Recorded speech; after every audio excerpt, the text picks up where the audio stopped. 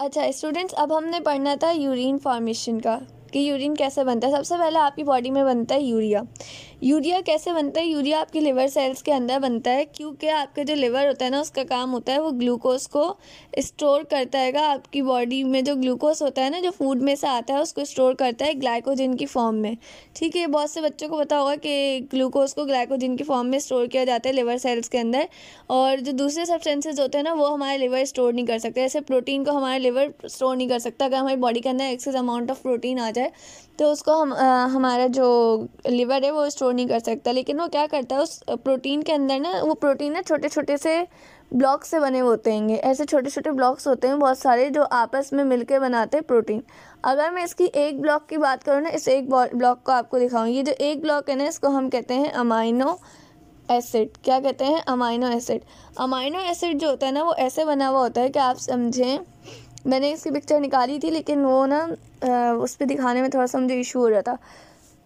Carbon है carbon की एक तरफ़ हाइड्रोजन है, एक तरफ़ आर ग्रुप है, एक तरफ़ ग्रुप है सी डबल ओ एच और यहाँ पर ग्रुप है एन एच टू अब क्या है? अब बात को अब समझना है। इसमें ये जो एन एच टू है ना बच्चे, इसको हम कहते हैं अमाइनो ग्रुप क्लास ही अपने पास बना लेना इसको हम कहते हैं अमाइनो ग्रुप इसकी मैं अभी पिक्चर दिखा भी दूँगी गूगल से आपको। अच्छा इसको हम कहते हैं अमाइनो ग्रुप और ये जो बकाया इसका बच जाता है ना पार्ट ये दूसरे काम में यूज़ करते हैं। इसको हम रिएक्ट करवाते हैं ऑक्सीजन के साथ और इसको हम लोग कार्बोहाइड्रेट की जो, क्या कहते हैं एनर्जी बनाने के लिए कार्बोहाइड्रेट के साथ इस्तेमाल कर लेते हैं। जो इसका रेसिडियल होता है ना उसको। अब देखो, और ये जो एन टू है ना अमाइनो ग्रुप इससे हम बनाते हैं अमोनिया हम वेस्ट प्रोडक्ट जो होता है ना, जो वेस्ट प्रोडक्ट यानी कि अमाइनो एसिड को, जब हमारी बॉडी में ज़्यादा क्या कहते हैं अमाइनो एसिड आ जाए ना, ज़्यादा प्रोटीन आ जाए तो हम अमाइनो एसिड से बनाते हैं एनर्जी लेकिन हम जो एनर्जी बनाते हैं ना, उसके लिए हमें इसका सिर्फ़ ये वाला पार्ट चाहिए होता है आर सी एच और सी डबल ओ एच ये वाला पार्ट चाहिए होता है। जो इसके साथ एन एच टू रखा होता है ना, अमोनिया अमोनिया ये जो है ना अमाइनो ग्रुप जो है अमाइनो ग्रुप नहीं चाहिए होता है। तो ये अमाइनो ग्रुप तो वेस्ट है, हमें ये तो चाहिए नहीं। हमारे पास जो हमें एनर्जी बनानी है, वो तो इस इस वाले पार्ट से बनेगी। इस पार्ट को जब हम ऑक्सीजन के साथ रिएक्ट करवाएँगे ना, तब हमारे पास बनेगी। समझ आ रही है आपको बात? अच्छा जी। क्या होता है अब? देखो ये जो अमाइनो है ना, ये है क्या बेस्ट अब होगा क्या जो एक्सेसिव अमाइनो एसिड होता है ना, पहले मैं आपको दिखा दूँ, देखो ये है, ये पिक्चर है, ये नज़ारी पिक्चर इसमें आर नज़ार है C H C double O H carboxyl group और अमोनो अमाइनो ग्रुप ये आपको दिखाने के लिए किया था, कि ताकि थोड़ा सा कलर भी बच्चे देखते तो ज़्यादा अच्छा समझ आता है। देखो एक्सेसिव अमाइनो एसिड को हम तोड़ लेते हैं, तोड़, तोड़ते क्यों हैं? इसलिए तोड़ते हैं कि ताकि हम उनसे एनर्जी ले सकें और उसका जो अमाइनो ग्रुप होता है ना, उसको हम रिमूव कर देते हैं अमाइनो एसिड से। जब हम उसका अमाइनो ग्रुप को रिमूव करते हैं ना तो उसको हम कहते हैं डी अमाइनेशन क्या कहते हैं? डी अमाइनेशन और हम उस एन एच टू को किसमें कन्वर्ट कर देते हैं? एन एच टू को कन्वर्ट कर देते हैं एन एच थ्री में, यानी कि हम इस अमाइनो ग्रुप को कन्वर्ट कर देते हैं अमोनिया में। और अमोनिया हमें इतना टॉक्सिक होता है, इतना पॉइजनस होता है कि वो आपके सेल को किल कर सकता है। अगर ये आपकी बॉडी के अंदर बहुत ज़्यादा कंसनट्रेशन में स्टोर हो जाए ना तो आपके सेल्स को ख़त्म कर देगा, ये किल कर देगा। तो लिवर क्या करता है? लिवर क्विकली जो अमाइनो अमोनिया होता है ना, उसको लेस टॉक्सिक सब्सटेंस में कन्वर्ट करता है। वो लेस टॉक्सिक सब्सटेंस क्या होता है? यूरिया होता है। मैंने आपको बताया था कि अमाइनो अमोनिया इतना टॉक्सिक है कि अगर आप अपनी बॉडी में सिर्फ़ अमाइन अमोनिया का एक मॉलिक्यूल बर्दाश्त कर सकते हैं ना तो आप यूरिया के एक लाख मॉलिक्यूल्स अपनी बॉडी में बर्दाश्त कर सकते हैं। समझ आ रही है बात? अब आप देखो, अगर आप, अब देखो, जिस चीज़ का आप ज़्यादा अमाउंट अपनी बॉडी में स्टोर कर सकते हैं, इसका मतलब वो लेस टॉक्सिक है, जिसका आप सिर्फ़ एक मॉलिक्यूल स्टोर कर सकते हैं तो आप सोचो कितना टॉक्सिक है, ठीक है? इतना टॉक्सिक है कि आपके अंदर जो सेल है ना, उसको ख़त्म कर दे तो लिवर क्या करता है, वो उस अमोनिया को डायरेक्टली किसमें कन्वर्ट कर देता है? यूरिया में कन्वर्ट कर देता है। और फिर यूरिया को लेकर आया जाता है ब्लड के ज़रिए किडनी के पास। और किडनी के ज़रिए हम उसको एक्सक्रीट आउट करवाते हैं यूरिन की फॉर्म में। क्योंकि अमोनी जो यूरिया होता है ना इसके अंदर से ना हमें वाटर को भी निकालना होता है, इसके अंदर कभी कभी हम बहुत इंपॉर्टेंट चीज़ें भी चली आती देखो ब्लड है ना ब्लड लेकर जा रहे हैं यूरिया को। अब आप सोचो ब्लड के अंदर तो रेड ब्लड सेल भी हैं वाइट ब्लड सेल भी हैं प्रोटीन भी है। अब अगर देखो, वो लेकर आ रहा है तो ऐसा तो हो सकता है ना कि प्रोटीन वगैरह जो है, वो भी गलती से यूरिन के ज़रिए निकल जाएँ। अब अगर ऐसा होगा तो ये तो हमारे लिए बहुत नुकसानदेह चीज़ हो जाएगी। अगर हमारी बॉडी से वाटर ज़्यादा से ज़्यादा निकलेगा तो हमारे लिए बहुत नुकसानदेह बात हो जाएगी ये। तो सिर्फ़ यूरिया को निकालने के लिए हम क्या करते हैं फिल्ट्रेशन करवाते हैं कि ताकि सिर्फ़ यूरिया जा सके। तो होता ये है कि यूरिया जब हम एक्सक्रीट करते हैं ना तो उसके अंदर थोड़ा सा अमाउंट पसीने का भी एक्सक्रीट होता है, ठीक है? स्किन के ज़रिए भी मैंने आपको बताया था, यूरिया को एक्सक्रीट किया जाता है। यूरिया बनता कैसे, अब ये देखते हैं। जो एक्सेस मिनरल सॉल्ट होते हैं नाइट्रोजीनस वेस्ट प्रोडक्ट्स होते हैं ना जैसे कि मैंने आपको बताया था यूरिया है क्रिटेन है यूरिक एसिड है जो बहुत पॉइजनस होते हैं अगर एक जगह जमा हो जाए तो उनको हम बॉडी से पानी के साथ रिमूव करते हैं और हम इस मिक्सचर को कहते हैं यूरिन यानी कि urea creatinine uric acid ammonia इन सब के मिक्सचर को जब एक वाटर के साथ करते हैं ना तो हम इसको कहते हैं अम, आ, अम, आ, ये यूरिन कहते हैं। होता क्या है बच्चों? देखो अमोनिया जब आता है ना तो हम अमोनिया को आ, क्या कहते हैं अमोनिया के साथ ना रिएक्ट करवाते हैं कार्बन डाइऑक्साइड का और वाटर को इसमें से निकाल लेते हैं। और जो ग्रुप जो बचता है ना, उसको, वो, उसको हम कहते हैं स्ट्रेटोलिन फिर स्ट्रेटोलिन के पास एक और अमाइनो अमोनिया आके लगता है, फिर एक वाटर का मॉलिक्यूल लग जाता है, फिर वो आर्जिनिन में कन्वर्ट होता है। आर्जिनिन में से एक और हम वाटर का मॉलिक्यूल देते हैं और वो यूरिया में जाता है। ये एक होती है ऑरेंथाइन साइकिल ये आप लोगों के लिए नहीं है मैंने सिर्फ़ एक बात बताई, ये सेकेंड ईयर के बच्चों में होती है, ये मैंने बस बता दिया वैसे आपको। याद नहीं करना है इसको, याद बिल्कुल भी नहीं करना है, सिर्फ़ समझ बताया है। सही है, एक थोड़ी सी नॉलेज की बात थी। अच्छा यूरिन फॉर्मेशन जो होते हैं ना किडनी में, वो दो मेन प्रोसेसेस के ज़रिए होता है, ठीक है? एक तो होता है फिल्ट्रेशन एक होता है रीएब्जॉर्प्शन यानी कि, देखो फिल्ट्रेशन जो है ना, वो ऐसा प्रोसेस होता है जिसके अंदर जो ब्लड के अंदर जो काम का मटेरियल होता है ना उसको स्टोर कर लिया जाए, उसको एब्जॉर्ब कर लिया जाए, उसको अलग कर लिया जाए, यानी कि एफरेंट आर्ट्रियोल के ज़रिए ब्लड आ रहा है। तो ऐसा थोड़ी होगा कि आप ब्लड को यूरिन के ज़रिए भाई बाहर फेंक दो कि भाई इसके अंदर यूरिया है। ऐसे करोगे तो ब्लड ही बॉडी से निकल जाएगा सारा। तो क्या करते हैं हम बोमेंस कैप्सूल जो होता है ना, उसके अंदर लगे हुए होती है छोटी छोटी सी सीव तो वो उनको क्या करता है? रोक लेता है रेड ब्लड सेल्स वगैरह को जाने से तो उसके ज़रिए से वेस्ट प्रोडक्ट ही जाता है।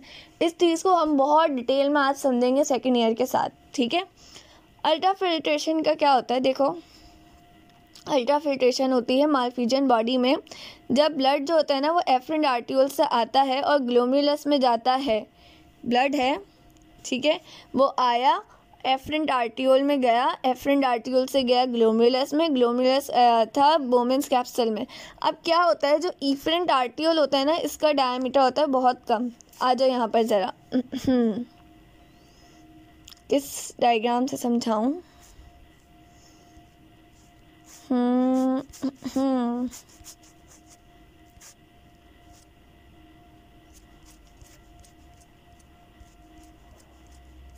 हम्म। इसको देखो। यहाँ पर देखो, बड़ा करके दिखाती हूँ। हम्म। ये आ रही है एफ्रेंट आर्टियोल, ठीक है? एफ्रेंट आर्टियोल से ब्लड आया। ब्लड आने के बाद ये गया इन कैपलरीज में, ठीक है? अब होगा क्या कि यहाँ पर ब्लड आ रहा है बहुत ज़्यादा। एफरेंट आर्टियोल की जो नाली होती है ना एफरेंट आर्टियोल जो वेन है कैपलरी है, इसका डायमीटर ज़्यादा होता है। एफरेंट आर्टियोल इतनी बड़ी होती है, फिर वो आगे जाती है कि इसमें। जो बहुत सारी ट्यूब्स में कन्वर्ट होती है कि कैपलरीज में, फिर बाहर निकलती है कि ऐसे, और पतली सी आर्टरी में। उसको हम कहते हैं ईफ्रेंट ठीक है? तो ईफ्रेंट होता है पतला सा। ठीक है, इसका डायमीटर होता है कम, इसके अंदर नहीं दिखाया हुआ, लेकिन मैं आपको दिखा दूँ, इसका बस इतना होगा डायमीटर ठीक है? इतना कम होता है। अब आप सोचो कि फॉर एग्ज़ाम्पल एक जगह है, वहाँ से पानी बहुत ज़्यादा आ रहा है, ठीक है? यहाँ यहाँ से बहुत ज़्यादा ब्लड आ रहा है, लेकिन यहाँ से तो ब्लड ज़ाहिर है, इसका डायमीटर कम है ना ईफ्रेंट का तो ईफ्रेंट में से तो ब्लड आराम आराम से जाएगा, ठीक है? तो क्या होगा कि यहाँ पर ये स्वेल हो जाएगी, यहाँ पर थोड़ा सा क्या क्रिएट होगा प्रेशर तो यहाँ पर होंगे छोटी छोटी सी नालियाँ यहाँ पे छोटे छोटे से होल्स होंगे, ठीक है? ये देखो, ऐसे ना होल्स होंगे, यूँ। ये होल्स जो होंगे ना, इसके अंदर ना ऐसे सीव लाइक स्ट्रक्चर्स बना रहे होंगे, ऐसे ऐसे स्ट्रक्चर्स बना रहे होंगे, बहुत छोटे छोटे से। तो क्या होगा कि इसके अंदर जो छोटे छोटे से वेस्ट प्रोडक्ट्स होंगे ना, वो इसके अंदर से चले के आ जाएँगे बोमेंस कप्सल में। ये, ऐसे करके आ जाएँगे बोमेंस कप्सल में, समझ आ रहा है? ये प्रेशर जनरेट करेंगे इसके अंदर। अच्छा अब होता क्या है? ये जो बोमेंस कैप्सूल की वॉल वॉल है सही है ये वाली समझो बोमेंस कैप्सूल चलो इसको पर्पल कलर से ही बनाती हूँ मैं। अब हम्म, कहाँ गया? ये वाला ऐसा पर्पल है ये रही आपकी बोमेंस कैप्सूल की वॉल ठीक है? और ये आपकी ग्लोम्यूलस की वॉल ये क्या है? ये है ग्लोम्यूलस की वॉल अब बेटा, इन दोनों के दरमियान में ना कुछ मौजूद हैं सीव्स क्या मौजूद है सीव्स ठीक है, ये सीव्स हैं, जिसके अंदर से वो छोटे छोटे से जो पार्टिकल्स हैं ना वो जाएँगे। अब होता क्या है, इन दोनों के ऊपर जो चार्ज होता है ना, वो होता है नेगेटिव अब आप सोचो, अगर ब्लड के अंदर कोई ऐसा पार्टिकल आ रहा है, जिसके ऊपर नेगेटिव चार्ज है तो वो तो इसके पास आएगा, इससे टकरा के रिपेल करके वापस चला जाएगा ब्लड के साथ। तो जो जिन चार, जिन पार्टिकल्स के ऊपर क्या कहते हैं नेगेटिव चार्ज होगा, वो इसमें से पास नहीं हो सकते। दूसरा, इन सीव्स का साइज़ होता है बहुत छोटा स्मॉल इनमें से सिर्फ़ स्मॉल मॉलिक्यूल्स या स्मॉल पार्टिकल्स ही जा सकते हैं। तो जो लार्ज मॉलिक्यूल्स होंगे, जैसे रेड ब्लड सेल बहुत बड़ा होता है ना तो रेड ब्लड सेल इसमें से नहीं जा सकता तो रेड ब्लड सेल वापस चला जाएगा। प्लाज्मा प्रोटीन होती है कुछ, अब आप लोगों ने पता नहीं, मैं बता देती हूँ, देखो कुछ ब्लड के अंदर प्रोटीन्स पाई जाती हैं, जिनको हम कहते हैं प्लाज्मा प्रोटीन जैसे कि प्रोथ्रोम्बिन होती है फेब्रिन होती है ग्लोब्यूलिन होती है सही है ना ये सारी प्रोटीन्स होती हैं जो आपके उसके अंदर पाई जाती हैं, ब्लड के अंदर पाई जाती हैं, प्लाज्मा प्रोटीन कहते हैं हम इन्हें। इनका काम होता है क्लॉट करवाना, कभी चोट लग जाए ना तो ये प्रोटीन्स क्लॉट करवाने में काम करती हैं। तो भाई ये जो आर हैं, ये आए और आने के बाद इनका साइज़ बड़ा था तो ये वापस आ गए। इसी तरह से कोई नेगेटिव पार्टिकल आ रहा था, उसने देखा कि भाई सामने भी नेगेटिव है तो नेगेटिव नेगेटिव को रिपेल करता है तो वो पार्टिकल भी नहीं गया उस वोमेंस कैप्सूल के अंदर। तो जिनके ऊपर पॉजिटिव चार्ज होगा ना, वो पार्टिकल्स इन सीव्स में से पास कर लेंगे। वो पार्टिकल्स इन सीव्स में से पास कर लेंगे, जिनके ऊपर पॉजिटिव चार्ज होगा। सही है ना? वो इसमें से आ जाएँगे। और जो बहुत छोटे छोटे होंगे ना साइज़ में, जिनका स्मॉल साइज़ होगा बहुत छोटे छोटे होंगे। वो पार्टिकल्स इसमें से किसमें आ जाएँगे? आ जाएँगे, ये जो बोमेंस कैप्सूल हैं, ये उसके अंदर आ जाएँगे। ये जो हमारी जो आर्टरी थी, इसको थोड़ा सा सही करती हूँ। ये जो बोमेंस कैप्सूल है, उसके अंदर ये देखो। बोमेंस कैप्सूल के अंदर कौन से पार्टिकल्स आएँगे जिनके ऊपर पॉजिटिव चार्ज होगा और जिनका साइज़ छोटा होगा? और जो कैपलरीज है ना, वो कैसा आ रही है? एफ्रेंट से आ रही हैं। आने के बाद ऐसे यू कल सा गुच्छा सा बना रही हैं, ठीक है? और उसके बाद ये एक और, उससे भी पतली सी ट्यूब में जाती हैं, जिसको हम कहते हैं ईफ्रेंट। ईफ्रेंट का डायमीटर कम होता है। समझ आई ये बात? अजीब सी गंदगी सी डायग्राम बना के मैंने समझा दी है। उम्मीद है समझ आई होगी। तो देखो अल्ट्रा फिल्ट्रेशन में क्या होता है मालफिजन बॉडी जो है तो उसके अंदर क्या होता है ब्लड जो है, वो इंटर होता है एफरेंट आर्टियोल से पहले ग्लोमिलस में जाता है ग्लोमिलस कहाँ पे मौजूद होगी बोमेंस कैप्सूल के अंदर। फिर वहाँ से क्या होगा कि वो फोर्स करते हैं ब्लड प्लाज्मा को कि वो ग्लोमिलस के अंदर जाए, ठीक है? तो क्या होता है कि ब्लड प्लाज्मा जो होता है ना, इनका साइज़ बड़ा होता है, नहीं जा पाते। लेकिन कुछ ब्लड प्लाज्मा जिनका साइज़ छोटा छोटा होता है ना वो बोमन्स कैप्सूल के अंदर चली जाती हैं। अब आप सोचो, आपके प्रोटीन्स जो काम के हैं, वो इसके अंदर चली गई। बोमेंस कैप्सूल के अंदर तो भाई बोमेंस कैप्सूल का काम तो यही है कि भाई वो तो एक्सक्रीट आउट करवा देगा यूरिन के ज़रिए। अब क्या किया जाए? सही है? तो फिर ये होता है अल्ट्राफिल्ट्रेशन में मतलब क्या होता है कि विदाउट सिलेक्शन ना पार्टिकल्स जा रहे हैं। ठीक है अल्ट्रा फिल्ट्रेशन में क्या होता है? ये नॉन सिलेक्टिव फिल्ट्रेशन होती है। देखो, मैंने बताया, इसके अंदर से जो सिर्फ़ नेगेटिव पार्टिकल्स होंगे, वो नहीं जा सकेंगे।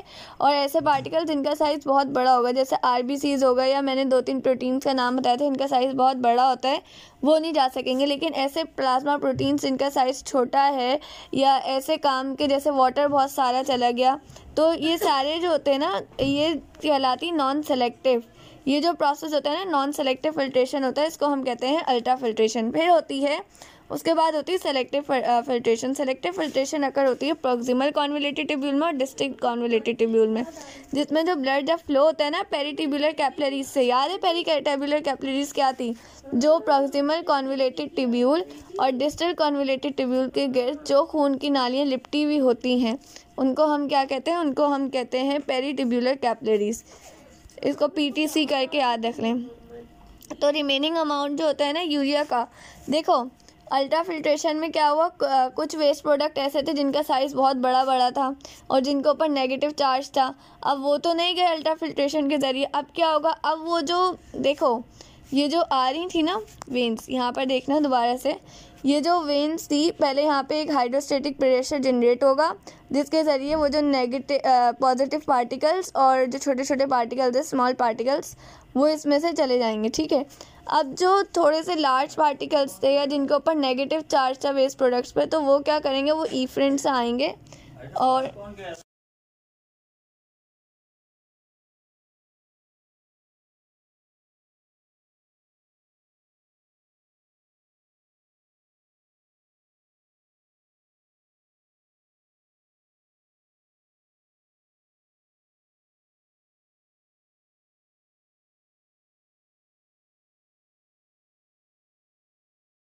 अब देखो, बाकी ब्लड मैंने आपको बताया ए फ्रेंड्स आएगा, यहाँ पर अल्ट्रा फिल्ट्रेशन होगी, फिर उसके बाद ये ई फ्रेंड्स है ना, पहले आएगा इन पेरीटेब्यूलर कैपलरीज में और इनके गिर्द लिपट जाएगा लूप ऑफ़ हैनले के गिर्द और डिस्टल कॉन्वलेटेड टेब्यूल के गिर्द तो प्रॉक्सिमल कॉन्वलेटेड टेब्यूल और डिस्टल कॉन्वलेटेड टेब्यूल इसके गिर्द क्या घूमेगा? इसके गिर्द घूमेगा आपकी प्रॉक्सिमल कॉन्वलेटेड टेब्यूल और लूप ऑफ़ हैनले के गिर्द घूमेगा वाजा रेक्टा तो अब जो नेगेटिव पार्टिकल्स या जो लार्ज पार्टिकल्स है ना वेस्ट प्रोडक्ट जो थे लार्ज और नेगेटिव वो सब ना इसके ज़रिए इसके अंदर आ जाएँगे। तो इसको हम कहते हैं सेलेक्टिव फिल्ट्रेशन क्या कहते हैं? सेलेक्टिव फिल्ट्रेशन कहते हैं।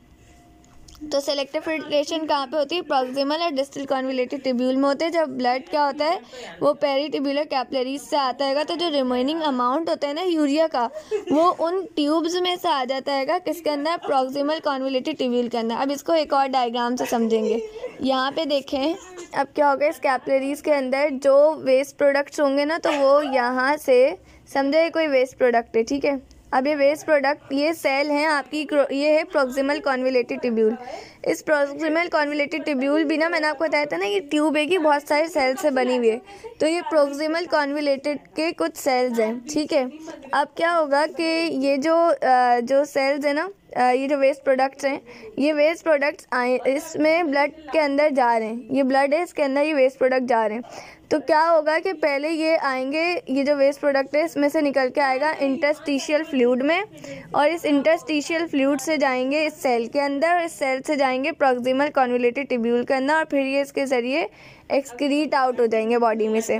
तो ये प्रोसेस समझ आया? ये होता है एक्टिव प्रोसेस जिसके अंदर हम यूज़ करते हैं एटीपी को। ठीक है, ये एक्टिव ट्रांसपोर्ट होती है। तो अब आप इसके अंदर यहाँ से देखेंगे, जो आपके पास है सेलेक्टिव फिल्ट्रेशन जो होती है, कहाँ पे होती है? प्रॉक्सिमल कॉन्विलेटेड टिब्यूल में और डिस्टल कॉन्विलेटेड टिब्यूल में। और ब्लड कहाँ से आ रहा होता है? पेरीटिब्यूलर से आ रहा होता है और जो रिमेनिंग अमाउंट होता है, वो फ़िल्टर हो जाता है ब्लड में। किसके ज़रिए? एक्टिव ट्रांसपोर्ट के ज़रिए। एक्टिव ट्रांसपोर्ट का मतलब है कि इसको कुछ एनर्जी की रिक्वायरमेंट होती है।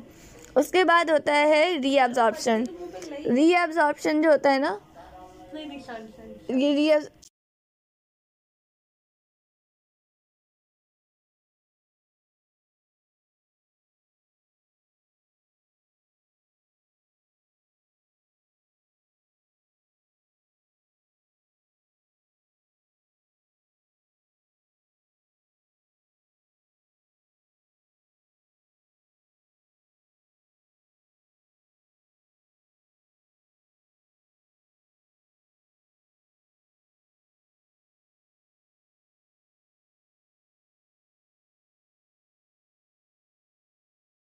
अच्छा अब बात करते हैं रीअब्जॉर्प्शन की। रीअब्जॉर्प्शन एडल्ट में जो होती है ना, देखो in a normal adult about 120 centimetre cube of filtrate is formed in the kidney every minute हमारी किडनी में हर मिनट में 120 सेंटीमीटर क्यूब के वॉल्यूम के हिसाब से फिल्ट्रेट बनता है। सेंटीमीटर क्यूब जो है ना, ये वॉल्यूम के लिए यूज़ होता है। इतने वॉल्यूम में आपके पास फिल्ट्रेट बनता है। ठीक है, हर मिनट में। ये आप लोगों को याद रखना है, मेट्रिक के स्टूडेंट सेकेंड ईयर में इस सेकेंड ईयर के स्टूडेंट्स इस बात को ना याद रखें, क्योंकि उनकी बुक में इससे डिफरेंट कंसेप्ट मौजूद है। अच्छा जी if this large amount of filtrate allowed to pass out from the body as urine अगर देखो इतना सारा वॉल्यूम जो बन रहा है यूरिन का, अगर ये इतना सारा आपकी बॉडी से जाने देना तो आपको डिहाइड्रेशन हो सकती है और इवन डेथ भी अकर हो सकती है। क्योंकि आपको पता है इसके अंदर वाटर चला जाएगा, इसके अंदर कुछ सॉल्ट्स चले जाएँगे, जैसे कि क्लोरीन के ऊपर नेगेट सॉरी सोडियम जो होता है सोडियम के ऊपर पॉजिटिव चार्ज होता है। तो सोडियम तो ज़ाहिर है उसमें से जा सकता है तो जब सोडियम निकल जाएगा तो आपके क्या होगा कि बॉडी के अंदर काफ़ी मसले आना शुरू हो जाएँगे। तो आप डेथ भी हो सकती है और डिहाइड्रेशन भी हो सकती है। तो इन तमाम लॉसेस से बचने के लिए और वाटर और यूज़फुल सॉल्ट्स को बचाने के लिए, इस सॉल्ट को, इस फिल्ट्रेट को जो फ़िल्टर होकर आ रहा होता है ना, इसको हम लोग नेफ्रॉन में से और गुजारते ताकि इसके अंदर से एक्सेसिव वाटर रीअब्जॉर्ब हो सके। ये एक होता है नॉन सेलेक्टिव एक होता है सेलेक्टिव नॉन सेलेक्टिव रीएब्सॉर्प्शन होती है डिस्टल और प्रॉक्सिमल कॉन्विलेटेड टिब्यूल के अंदर। तो क्या होता है जो प्रॉक्सिमल कॉन्विलेटेड टिब्यूल होती है ना, इसके अंदर glucose amino acid sodium calcium salt absorb हो जाते हैं। जबकि डिस्टल कॉन्विलेटेड टिब्यूल जो होती है ना, इसके अंदर ही होता है कि इसके अंदर दूसरे जो, जैसे कि वाटर और कुछ और मिनरल सॉल्ट्स होते हैं ना, वो एब्जॉर्ब हो जाते हैं। यानी कि जो सारा जो सेलेक्टिव काम होता है ना, वो कहाँ पर होता है वो होता है आपके लूप ऑफ़ हैंडले में। लूप ऑफ़ हैंडले और कलेक्टिंग डक्ट में। लूप ऑफ़ हैंडले और कलेक्टिंग डक्ट में ये होता है anti diuretic hormone parathyroid hormone और कैल्सीटोनिन के ज़रिए। ये मैं अभी सेकेंड ईयर को समझाऊँगी तो आप लोग उसमें से देख लीजिएगा। ठीक है। अच्छा देखो प्रॉक्सिमल कॉन्विलेटेड टिब्यूल जो होती है ना, इसमें क्या होता है? मोस्ट ऑफ़ मिनरल सॉल्ट्स जो होते हैं वो और जो हेल्दी पर्सन के अंदर ग्लूकोज और अमाइनो एसिड होता है ना, वो दोबारा से एब्जॉर्ब कर लिया जाता है, ठीक है? किसके अंदर एब्जॉर्ब किया जाता है? उन ट्यूब्स के अंदर से हमारे ब्लड के अंदर लिया जाता है। ये सॉल्यूट जो होते हैं ना इनको रीअब्जॉर्ब किया जाता है एक्टिव ट्रांसपोर्टेशन के ज़रिए। अभी यहाँ से रीअब्जॉर्बशन से ना, मैं आप लोगों को दोबारा से एक्सप्लेन करूँगी। वालेकुम student, hope so all of you are fine. कल हम लोग पढ़ रहे थे यूरिन फॉर्मेशन का, जिसके अंदर हम लोग फिल्ट्रेशन पढ़ चुके थे, हमने अब उसका दूसरा बार डी एब्जॉर्प्शन पढ़ना था। देखो, हमने फिल्ट्रेशन में क्या पढ़ा था कि फिल्ट्रेशन दो तरह की होती है। एक होती है अल्ट्रा फिल्ट्रेशन, जिसको हम लोग दूसरे वर्ड्स में नॉन सेलेक्टिव फिल्ट्रेशन भी कह सकते हैं, और एक होती है सेलेक्टिव फिल्ट्रेशन। अल्ट्रा फिल्ट्रेशन के अंदर ये होता है कि सिर्फ़ वो वाले पार्टिकल्स नहीं जा सकते जिनका लार्ज साइज़ हो और जिनके ऊपर नेगेटिव चार्ज हो। बाकी वो जिनके ऊपर पॉजिटिव चार्ज हो, चाहे वो हमारे काम के हों या वो जिनके ऊपर जो स्मॉलर साइज़ को, चाहे वो हमारे काम की हो प्रोटीन वगैरह, वो सब अक्सर चली जाती हैं। तो वो जो जाती है तो वो कहलाती है अल्ट्रा फिल्ट्रेशन, जिसके अंदर नॉन सेलेक्टिव होती है। फिर क्या होता है? सेलेक्टिव फिल्ट्रेशन जिसके अंदर प्रॉक्सिमल और डिस्टल कॉन्विलेटेड ट्यूब्यूल्स के अंदर जब ब्लड फ्लो हो रहा होता है तो हमने पढ़ा था, उस ब्लड के अंदर भी कुछ ऐसे हार्मफुल सब्सटेंसेज होते हैं कि जो उसके अंदर से नहीं पास हुए होते हैं, क्योंकि उनका लार्ज साइज़ होता है उन वेस्ट प्रोडक्ट्स का। तो वो पेरीटिब्यूलर कैपलरी से किसके अंदर आ जाती है? वो आ जाती है प्रॉक्सिमल और डिस्टल कॉन्विलेटेड ट्यूब्यूल इसी तरह से वाजर एक्टा में से किसमें आ जाएगी? वो आ जाएगी लूप ऑफ़ में। ठीक है? अब बात करते हैं रीएब्जॉर्प्शन रीएब्जॉर्प्शन क्या होती है? देखो नॉर्मल एडल्ट में क्या होता है कि किडनी जो होती है ना, वो हर मिनट में तकरीबन 120 सेंटीमीटर क्यूब जो है, वो फ़िल्टर करती है ठीक है? हर मिनट में। अब आप सोचो, एक मिनट में 120 सेंटीमीटर क्यूब फ़िल्टर हो है। तो ये पूरे दिन में कितना होता होगा? बहुत ज़्यादा होता है तकरीबन आपका जो क्या कहते हैं फ़िल्टर होता है ना आप की बॉडी से एक हज़ार एक सौ से लेकर दो हज़ार लीटर तक आपकी बॉडी का ब्लड जो है वो फ़िल्टर होता है और उसके अंदर से जो, क्या कहते हैं रीअब्जॉर्प्शन जो फिल्ट्रेशन वगैरह का अमल होता है ना, वो अलग होता है वो मेरा ख्याल है कोई एक सौ अस्सी लीटर तक होता है जो वेस्ट प्रोडक्ट्स वगैरह सब लोग किडनी के अंदर से जाते, आते ही रीअब्जॉर्ब ये पूरा प्रोसेस होता है ना नेफ्रॉन के अंदर। ये एक सौ अस्सी लीटर तकरीबन उसका होता है फिर उस एक सौ अस्सी लीटर में से जो आपको यूरिन पास होता है ना, वो पूरे दिन में, मैं आपको बता रही पूरे दिन में एक से लेकर दो लीटर तक तक आपको सिर्फ़ यूरिन पास होता है। तो अब आप सोचें कि इतना सारा फ़िल्टर हो रहा है, लेकिन यूरिन इतने से अमाउंट में निकल जाएगा। क्यों? वजह यह है कि उसके अंदर से हम काम की चीज़ें एब्जॉर्ब कर लेते हैं, हम वाटर एब्जॉर्ब कर लेते हैं। अगर हम ऐसा नहीं करें ना तो आप लोगों को प्यास भी बहुत ज़्यादा लगना शुरू हो जाएगी डिहाइड्रेट होना शुरू हो जाएँगे आप लोग। इसके अलावा क्या कहते हैं, आपकी बॉडी के जो इम्पोर्टेंट प्रोटीन्स होंगे सॉल्ट्स होंगे, वो सब यूरिन के ज़रिए चले जाएँगे। अच्छा जी, उसके बाद उसके बाद ही होता है कि देखो, अगर ये लार्ज अमाउंट का जो फिल्ट्रेट है, अगर हम इसको अपनी बॉडी से जाने दें यूरिन के ज़रिए तो क्या होगा? बॉडी विल डिहाइड्रेट और डेथ में आकर या तो बॉडी डिहाइड्रेट हो जाएगी और मर भी सकता है बंदा।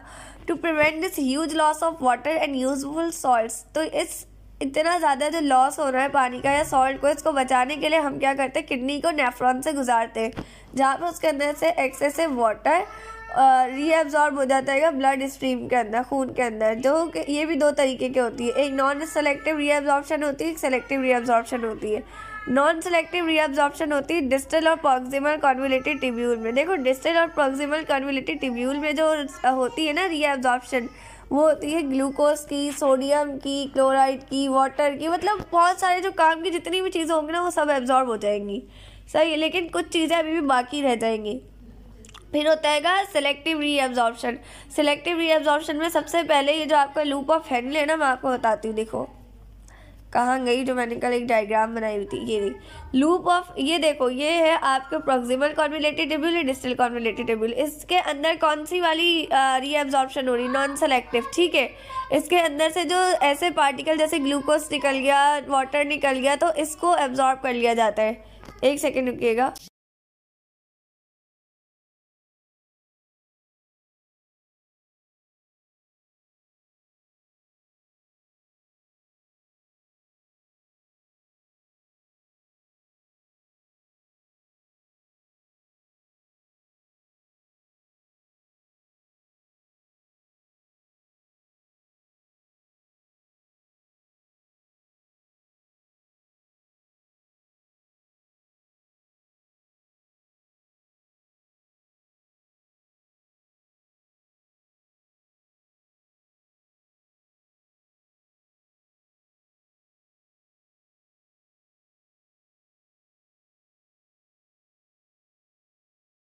अच्छा तो मैं आपको बता रही थी कि प्रॉक्सिमल कॉन्विलेटेड टिब्यूल और डिस्टल कॉन्विलेटेड टिब्यूल के अंदर कौन सी री एब्जॉर्प्शन होती है नॉन सेलेक्टिव होती, ठीक है? फिर आती है कि loop of Henle loop of Henle में जब ये वाली लिम्ब होती है ना, ये वाली लिम्ब इसको ऐसे बताती हूँ, ये लिम्ब ठीक है? इस लिम्स में क्या होगा कि ये जो प्रॉक्सिमल कॉन्विलेटेड टिब्यूल है ना, इसके अंदर से बाकी फिल्ट्रेट किसके अंदर आएगा? इस वाली लिम्ब के अंदर आएगा, जो मैंने आपको, जिसके अंदर एरो बना के दिखाया है। इस लिम को हम लोग कहते हैं डिसेंडिंग लिम कौन से लिम कहते हैं? डिसेंडिंग लिम मैंने आपको बताया था ये आप लोगों की बुक में नहीं है, लेकिन सेकेंड ईयर वालों की बुक में. डिसेंडिंग लिम आप लोगों की बुक में भी है, लेकिन इतनी डिटेल में नहीं है. तो अच्छा है आप लोग डिटेल में समझ लोगे, याद भले थोड़ा सा करना. तो डिसेंडिंग निम के अंदर क्या एब्जॉर्ब होता है? देखो डिसेंडिंग निम जो होती है ना परमिएबल टू वाटर होती है, यानी इसके अंदर क्या एब्जॉर्ब होता है? इसके अंदर सिर्फ़ पानी एब्जॉर्ब होगा। ये सेलेक्टिव री एब्जॉर्प्शन है। देखो, मैं अगर आपसे बोलूँ कि लूप ऑफ़ हैंडले का ऐसा पार्ट जो नीचे की तरफ़ लेकर जाता है फिल्ट्रेट को, जिसको हम डिसेंडिंग निम कहते हैं, ये सिर्फ़ और सिर्फ़ वाटर को री एब्जॉर्ब करेगा। तो आप ये बोलोगे ना कि सेलेक्टिव री एब्जॉर्प्शन है। फिर ये वाला पार्ट जो ऊपर लेकर जाता है फिल्ट्रेट को, इसको हम कहते हैं असेंडिंग लिम क्या कहते हैं? असेंडिंग लिम ठीक है, ये जो असेंडिंग लिम है ना, ये अपने अंदर सॉल्ट्स को अपने अंदर जो भी सॉल्ट वगैरह होंगे ना, उसको एब्जॉर्ब करवा कर बाहर ले आएगी। देखो, ऐसे होता है। मैं आपको इसकी एक फाइन सी डायग्राम भी दिखाऊँ। ये देखो। ये लूप ऑफ़ हैंडले है। ठीक है लूप ऑफ़ हैंडले में यहाँ पर जो फ़िल्टर आया प्रॉक्सिमल कॉन्विलेटेड ट्यूब्यूल से, वो लूप ऑफ़ हैंडले के पहले डिसेंडिंग पार्ट से गुजरेगा इसके अंदर जितना भी वाटर होगा, उसको बाहर निकाल के ले आएगा और ये है ब्लड स्ट्रीम मेड्यूला के अंदर मतलब मेड्यूला है ना मेड्यूला के अंदर ले आएगा। आपने देखा, देखो, किडनी को दोबारा से देखो। कहाँ गई किडनी? ये रही किडनी। इसके अंदर आप देखो, ये रहा नेफ्रॉन सही है?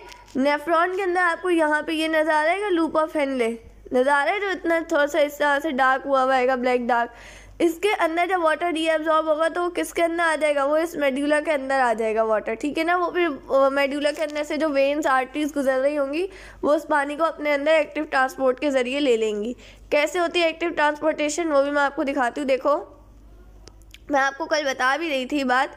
तो देखो प्रॉक्सिमल कॉन्विलेटेड ट्यूब्यूल है सही? अगर इसके अंदर हमने कोई क्या कहते हैं, ऐसा पार्टिकल मौजूद है जो हमने इसमें से निकाल कर कहाँ पर लेकर जाना है हमने लेकर जाना है उसे ब्लड वेजल के अंदर, ठीक है? तो क्या होगा? पहले वो पार्टिकल यहाँ पर है, सही है?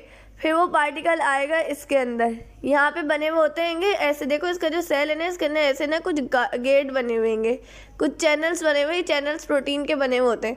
तो ये जो पार्टिकल जो भी होगा ना फॉर एग्जांपल समझो प्रोटीन का पार्टिकल था जो यहाँ पर आ गया तो ये पार्टिकल इसमें से निकल कर बाहर आएगा, यहाँ पर आ गया। ये जो ये जो, ये जगह है ना ये देखो, ये तो कैपलरी है।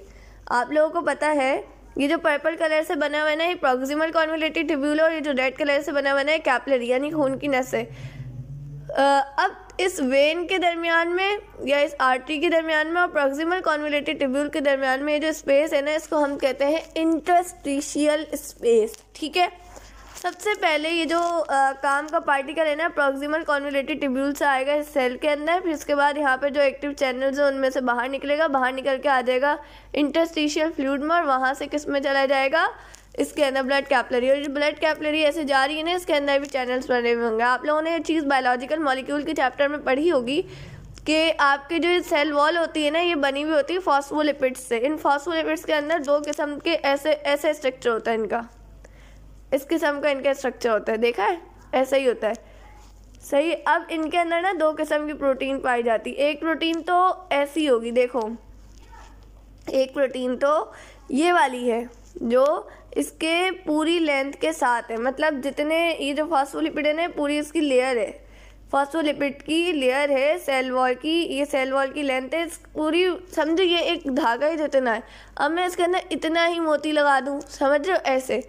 तो जितनी इसकी लेंथ है ना, इतना इसके अंदर एक प्रोटीन होता है। इस प्रोटीन के अंदर से ना वो जो पार्टिकल्स होते हैं, वो जाते हैं और आ जाते हैं सेल के अंदर। अच्छा। और एक होते, ये जो है ना, देखो एक ये वाली प्रोटीन है और एक ना ऐसे प्रोटीन इधर ऐसे रखी हुई होती है, एक प्रोटीन ऐसे होती है। ये प्रोटीन होती है कैरियर प्रोटीन। सही है? इसके अंदर जो चीज़ आएगी वो उसको लेकर कहीं और जाना होगा या कैरियर प्रोटीन। कैरियर प्रोटीन का काम दूसरा होता है, बायोलॉजिकल मॉलिक्यूल में आप पढ़ेंगे।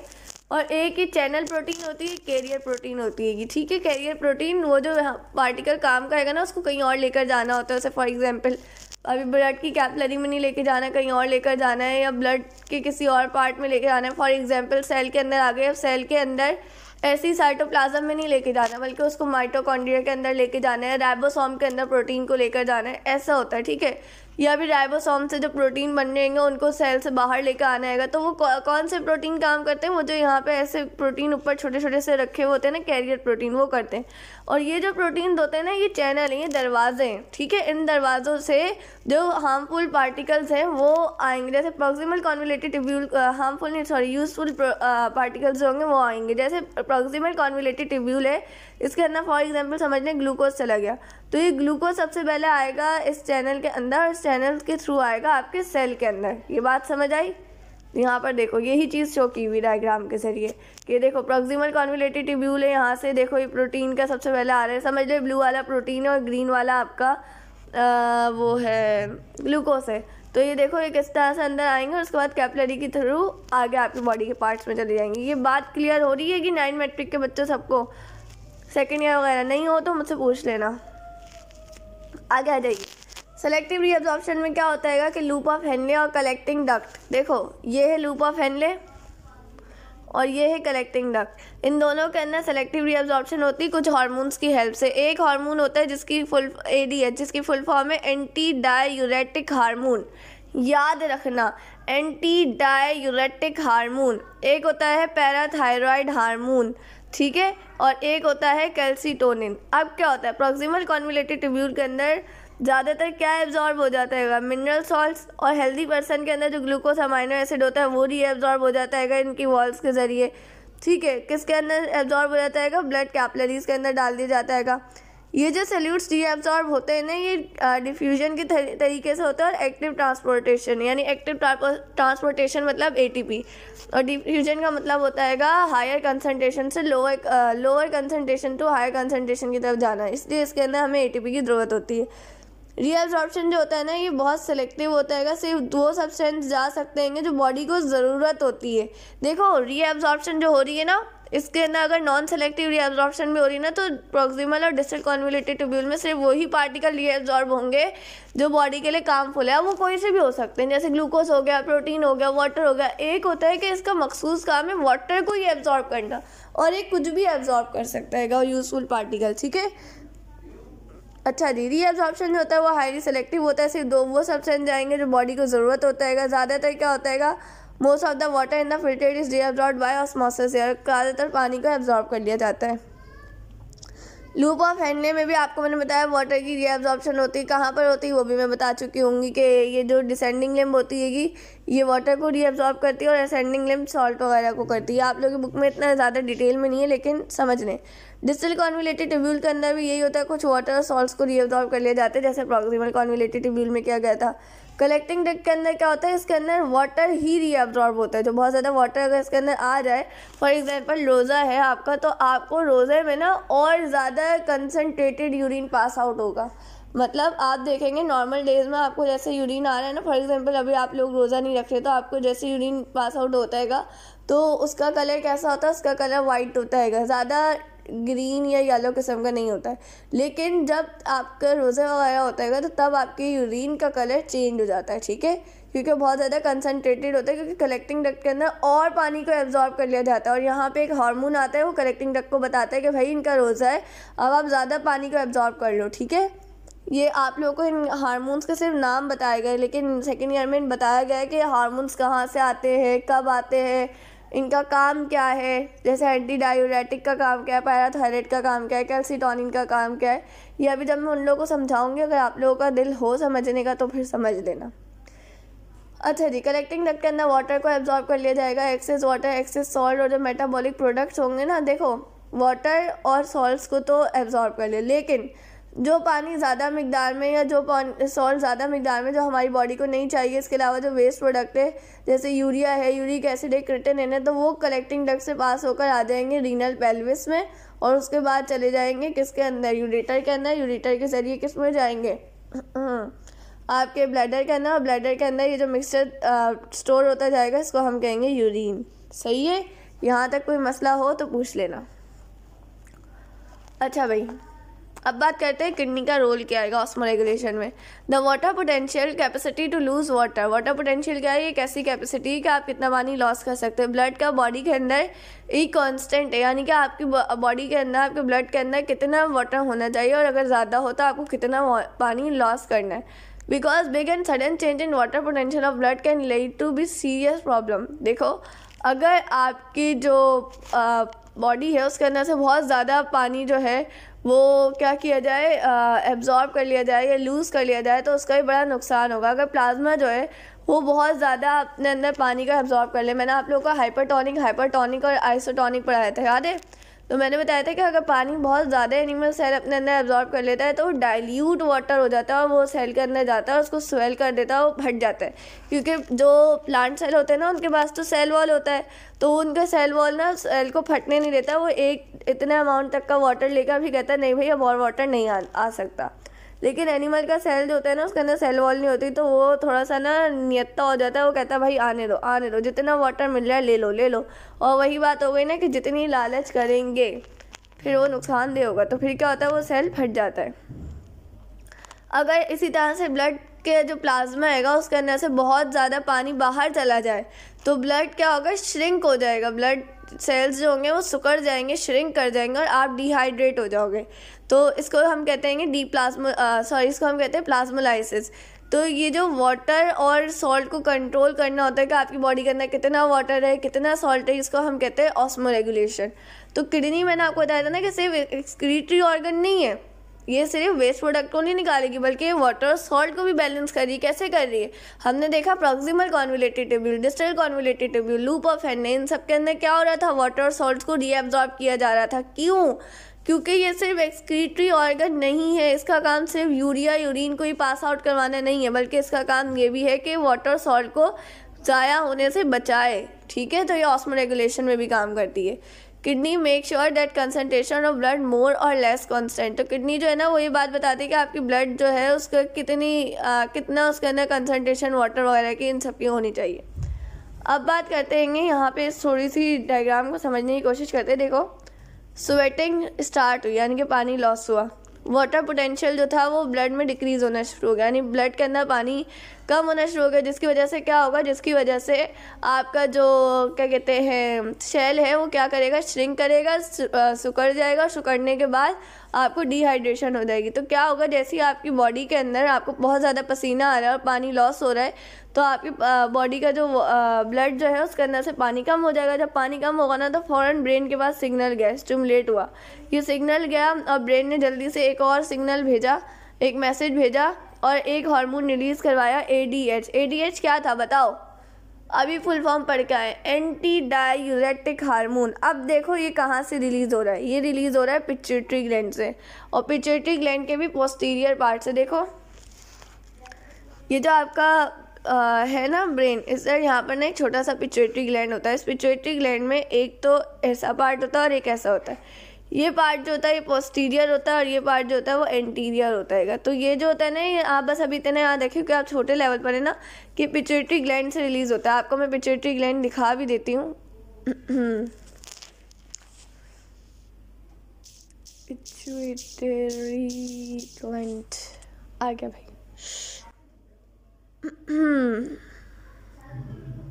यहाँ देख सकते हैं। मैंने आपको दिखाया था, उसके अंदर एक रेड छोटा सा डॉट था। देखो, इसके अंदर पिट्यूटरी ग्लैंड नज़र है। ये देखो। इसके अंदर देख रहे हो पिट्यूटरी ग्लैंड कितना छोटा सा है।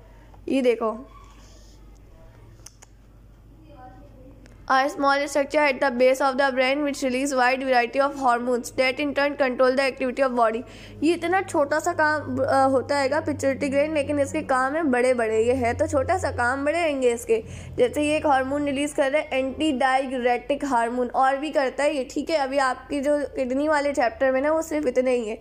लेकिन अभी आप आगे पढ़ते जाएँगे ना, जैसे चैप्टर नंबर थ्री पढ़ेंगे, वो कंट्रोल एंड कोऑर्डिनेशन पढ़ेंगे चैप्टर फोर रिप्रोडक्शन पढ़ेंगे तब आपको इसके और काम पता चलेंगे। अब मैं आपको इसका पोस्टीरियर और जो वैसा पार्ट है ना, वो भी दिखाऊँ। ये देखो, इसके अंदर दिखाने, देखो पिचुरिटी ग्लैंड में नज़र है, एक एंटीरियर पार्ट है। नज़र है ये रहा, और एक पोस्टीरियर पार्ट है। तो आप देखो पोस्टीरियर पार्ट क्या कर रहा है? पोस्टीरियर पार्ट एक किस्म का हार्मोन रिलीज़ कर रहा है। मैं एक मिनट पेन को ले आऊँ, फिर आपको दिखाऊँ। मेरा पेन आया हो जाता है। हाँ यहाँ देखो, ये क्या कर रहा है? ये एक किस्म का पोस्टीरियर ग्लैंड जो है, वो एक हार्मोन रिलीज़ कर रहा है एंटी डायूरेटिक हार्मोन जिसका काम क्या है? किडनी का किडनी में ऑस्मो रेगुलेशन वगैरह करवाना। इसके अलावा भी देखो, ये और कौन कौन से वो करता है? इसके अलावा ये थायराइड स्टिमुलेटिंग हार्मोन है। हमने पढ़ा था पैराथायराइड तो पोस्टीरियर वाली जगह से ना एडीएच रिलीज़ होता है और एंटीरियर वाली जगह से कौन सा रिलीज़ होता है? पैराथायराइड अभी हमने पढ़ा है। ठीक है? अच्छा जी, अब सर आ जाए इसकी तरफ़। तो हमने पढ़ा ए डी एच कहाँ से रिलीज़ हो रहा है? पिट्यूटरी ग्लैंड से रिलीज़ होने के बाद फ़ौरन किसके पास जाएगा? कलेक्टिंग डक के पास जाएगा। उसको बोलेगा कि भाई, ज़्यादा से ज़्यादा पानी को एब्जॉर्ब करके कैपलरीज में भेजो। सही है? तो यूरिन क्या होगा? यूरिन कम अमाउंट में प्रोड्यूस होगा और बहुत कंसनट्रेटेड होगा। मतलब आप उसके कलर देखोगे ना तो वो बहुत येलोइश टाइप का होगा। और जैसे ही ब्लड का लेवल जो होगा, फिर क्या होगा? नॉर्मल हो जाएगा। अच्छा अब देखो। हमने पानी पिया, बहुत ज़्यादा पानी पीना शुरू कर दिया, हमारी बॉडी के अंदर वाटर पोटेंशियल बढ़ना शुरू हो गया। अब क्या होगा कि अब दोबारा से ब्रेन के पास सिग्नल जाएगा कि भाई पानी जो है वो बहुत ज़्यादा है तो वो क्या करेगा, वो एडीएच को पिचिटी ग्लैंड से कहेगा कि भाई अब एडीएच को प्रोड्यूस नहीं करो एंटी डायूरेटिक हार्मोन का प्रोड्यूस नहीं करो। तो कलेक्टिंग डक क्या करेगा नेफ्रॉन में नेफ्रॉन का जो कलेक्टिंग डक है ना, वो पानी को एब्जॉर्ब तो करेगा, लेकिन कम पानी को एब्जॉर्ब करेगा, ठीक है? जिसकी वजह से क्या होगा? रेनिन प्रोड्यूस होगा हाई क्वांटिटी में और डाइल्यूट यूरिन प्रोड्यूस होगा। यानी ऐसा यूरिन प्रोड्यूस होगा जिसका कलर वाइट होगा और बहुत ज़्यादा अमाउंट में यूरिन प्रोड्यूस होगा। जिसकी वजह से क्या होगा? दोबारा से वाटर पोटेंशियल नॉर्मल हो जाएगी। यानी कि अगर पानी ज़्यादा हो जाए तो भी उसको आपकी बॉडी में सही करके रखना है, अगर कम हो जाए तो भी सही रखना है। अब मैं रेनिन दिखा देती हूँ क्या होता है। ये एक वेस्ट प्रोडक्ट है। पहले आप इसकी डेफिनेशन देख लें। देखो रेनिन जो है ना, इसको हम कहाँ से देखो आप लोगों के लिए कोई छोटी सी डेफिनेशन एक सेकेंड रुकेगा मैं इसकी कोई छोटी सी डेफिनेशन देखूँ? नहीं भाई, इसकी छोटी सी जो डेफिनेशन नहीं आ रही।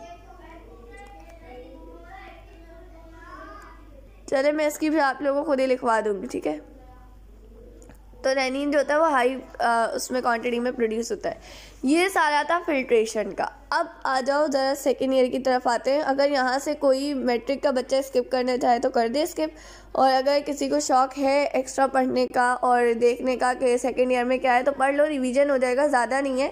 बस ये है कि उनमें थोड़ा सा डिटेल है। देखो, किडनी का काम क्या होता है या बल्कि आप लोग यहाँ से क्लास मैट्रिक स्विच कर जाएँ। मैं आप लोगों को दो मिनट दे रही हूँ यहाँ से स्विच कर जाएँ, मैं फिर सेकेंड ईयर को स्टार्ट करवाऊँ।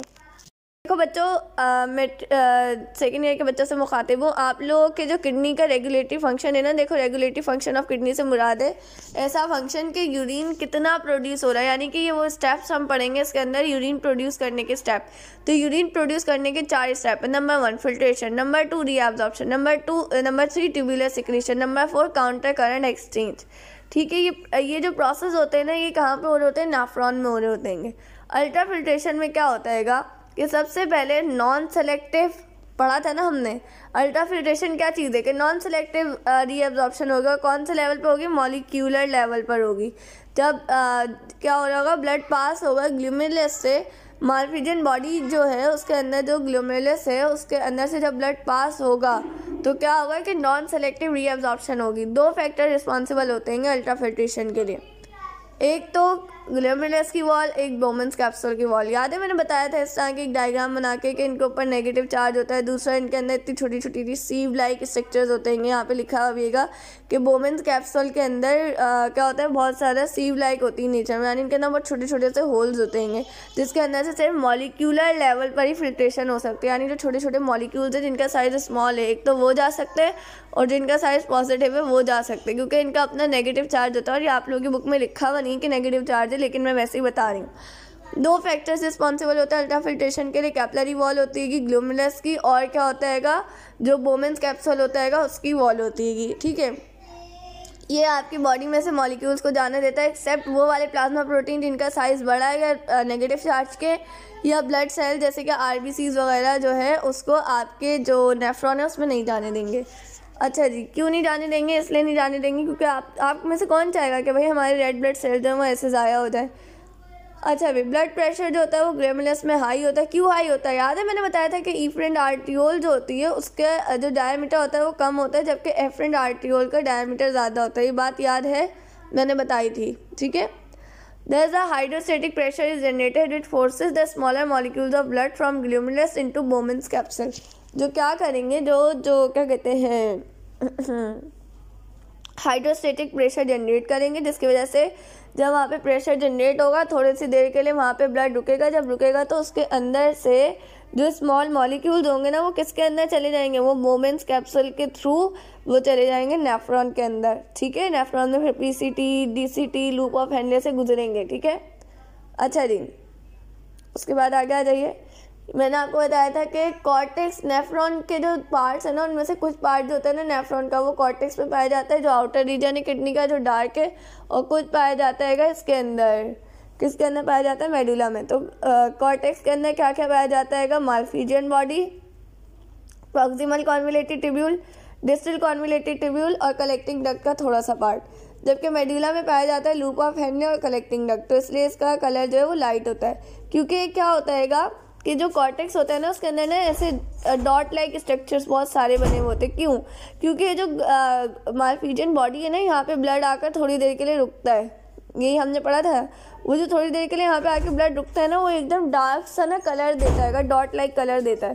तो इस वजह से कॉर्टेक्स के अंदर आपको पता है, एक मिलियन के करीब नेफ्रॉन है। तो सोचो वो एक मिलियन के करीब डॉट जब आपकी किडनी के अंदर होंगे कॉर्टेक्स के रीजन में तो कॉर्टेक्स तो डार्कर ही होगा। ठीक है? ये देखो, यहाँ पे दिखाया हुआ अभी ये कॉर्टेक्स है। और कॉर्टेक्स के अंदर आपको नज़र आ रहेगा, ये आपको वोमेंस कैप्सूल है ये प्रोक्सिमल कॉन्विलेटिव टेब्यूल है डिस्टल कॉन्विलेटिव टेब्यूल और ये कलेक्टिंग डक्ट और लूप ऑफ़ हैंडले और कलेक्टिंग डक्ट का बहुत ज़्यादा पार्ट किसके अंदर आ रहेगा? इस पैरामिड के अंदर आ रहा है। और ये जो पैरामिड है, ये किसका पार्ट है ये मेड्यूला का पार्ट है। इतना पार्ट मेड्यूला का है। सही है? अच्छा भाई। उसके बाद होती है रीअब्जॉर्प्शन रीअब्जॉर्प्शन जो होती है एक्टिव रीअब्जॉर्प्शन वो क्या होती है? वो ग्लोमिलर फिल्ट्रेट की होती है। कहाँ पे अगर होती है? प्रोक्सिमल कॉन्विलेटेड ट्यूब्यूल में. ठीक है? एक्टिव रीअब्जॉर्प्शन का क्या मतलब है? मतलब अब जो दायरे नॉन सेलेक्टिव रीअब्जॉर्प्शन हुई थी ना पहले तो अब जो होगी वो सेलेक्टिव रीअब्जॉर्प्शन है। ठीक है? ये कहाँ पे होती है? देखो, ये सबसे पहले आकर होती है प्रोक्सिमल कॉन्विलेटेड ट्यूब्यूल के अंदर। इकरा इसके अंदर देखो बच्चे, मैंने वो बनाया हुआ है। देखते हो मैंने हाँ। यहाँ आप देखेंगे ना, मैंने इसके अंदर पॉइंट्स लिखे हुए अल्ट्रा फिल्ट्रेशन के अंदर क्या हो रहा है? देखो non selective molecule non selective होगा मॉलिक्यूलर लेवल पर होगा। तमाम मॉलिक्यूल्स को परमिट कर देगा कि वो चले जाएँ सिवाय प्लाज्मा प्रोटीन और ब्लड सेल्स के। और किस पे डिपेंड करेगा? चार्ज और साइज़ पर। सही है कि क्यों मैंने, और यहाँ पे मैंने छोटी सी ना एक डायग्राम टाइप से बना दिया आपको समझाने के लिए कि इसके ऊपर नेगेटिव चार्ज होता है। ये मैं आपको पिक्चर भेज भी दूँगी, आप इसको अपने पास लिख लेना। क्योंकि पॉइंट्स ऐसे ही बनाए जाते हैं। ठीक है? अच्छा उसके बाद देखो ब्लड प्रेशर जो होता है वो ग्लोमलस में हाई होता है। क्यों हाई होता है? क्योंकि एफ्रेंट का डायमीटर ज़्यादा होता है ई फ्रेंट का डायमीटर ज़्यादा होता है एफ्रेंट से। अच्छा उसके बाद ये ऑप्शन में क्या होता है? सबसे पहले प्रॉक्सिमल कॉन्विलेटेड टिब्यूल आता है। यानी कि आप देखो बोमेंस कैप्सूल जो है, उसके अंदर तो ठीक है, आ गए। ये जो बोमेंस कैप्सूल है ना, इसके अंदर आ गए, वो पार्टिकल फिल्ट्रेट आ गया। अब वो फिल्ट्रेट जाएगा सबसे पहले प्रॉक्सिमल कॉन्विलेटेड टिब्यूल में। जब वो प्रॉक्सिमल कॉन्वलेटेड ट्यूब्यूल में जाएगा तो वहाँ पे ग्लूकोज एब्जॉर्ब होगा। अमाइनो एसिड एब्जॉर्ब होगा वाटर एब्जॉर्ब होगा सॉल्ट एब्जॉर्ब होगा। यानी कि वो जो जितना भी आपके पास फिल्ट्रेट आया है ना, समझो अगर उस फिल्ट्रेट के आप तीन हिस्से कर दो तो उसके जो दो हिस्से होंगे ना, वो दो हिस्से यहाँ पे पीसीटी में एब्जॉर्ब हो जाएँगे। यानी पीसीटी जो है प्रॉक्सिमल कॉन्वेलेटिव ट्यूब्यूल जो है, वो इतने ज़्यादा अमाउंट में जो काम की चीज़ें उसको रीएब्जॉर्ब कर लेगा। फिर मैंने आपको उधर मेट्रिक के साथ भी बताया था कि डिसेंडिंग लिम के अंदर वाटर को एब्जॉर्ब किया जाता है और असेंडिंग लिम के अंदर सॉल्ट को एब्जॉर्ब किया जाता है, जो एक्टिव होता है। देखो एक्टिव का मतलब होता है उसको यूज़ करते हुए ए को। आप सोचो ये प्रॉक्सिमल कॉन्विलेटेड ट्यूब्यूल थी ठीक है? जिसमें से ये जो फिल्ट्रेट है ना जिसके अंदर यूरिया भी है वाटर भी है सारा वेस्ट प्रोडक्ट सॉल्ट वॉल्ट आ रहा है। अब ये ऊपर से नीचे आ रहा है तो बताओ आराम से आ जाएगा ना? अगर मैं आपसे बोलूँ इकरा ये पानी की आ, क्या कहते हैं पानी लो ठीक है? एक कटोरी के अंदर लेकर जाओ और छत के ऊपर से फेंको। तो ऊपर से नीचे फेंकोगे तो बहुत आराम से पानी आके जल्दी से गिर जाएगा। आराम से हो जाएगा ना काम, कोई मेहनत ही नहीं लगी।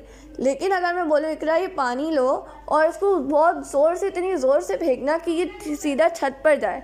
अब आपको, आपकी बहुत ज़्यादा ताकत लगानी पड़ेगी कि भाई मैं इतना ज़्यादा ऊँचा फेंक सकूँ पानी को कि वो वहाँ जाए।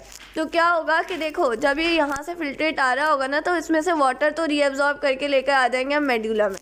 फिर क्या होगा ये फिल्ट्रेट आगे से गुजरता हुआ जाएगा इसके अंदर। अब जो फिल्ट्रेट जा रहा है ना, इसके अंदर ना सॉल्ट ज़्यादा है, क्योंकि पानी का इसने एब्जॉर्ब कर लिया।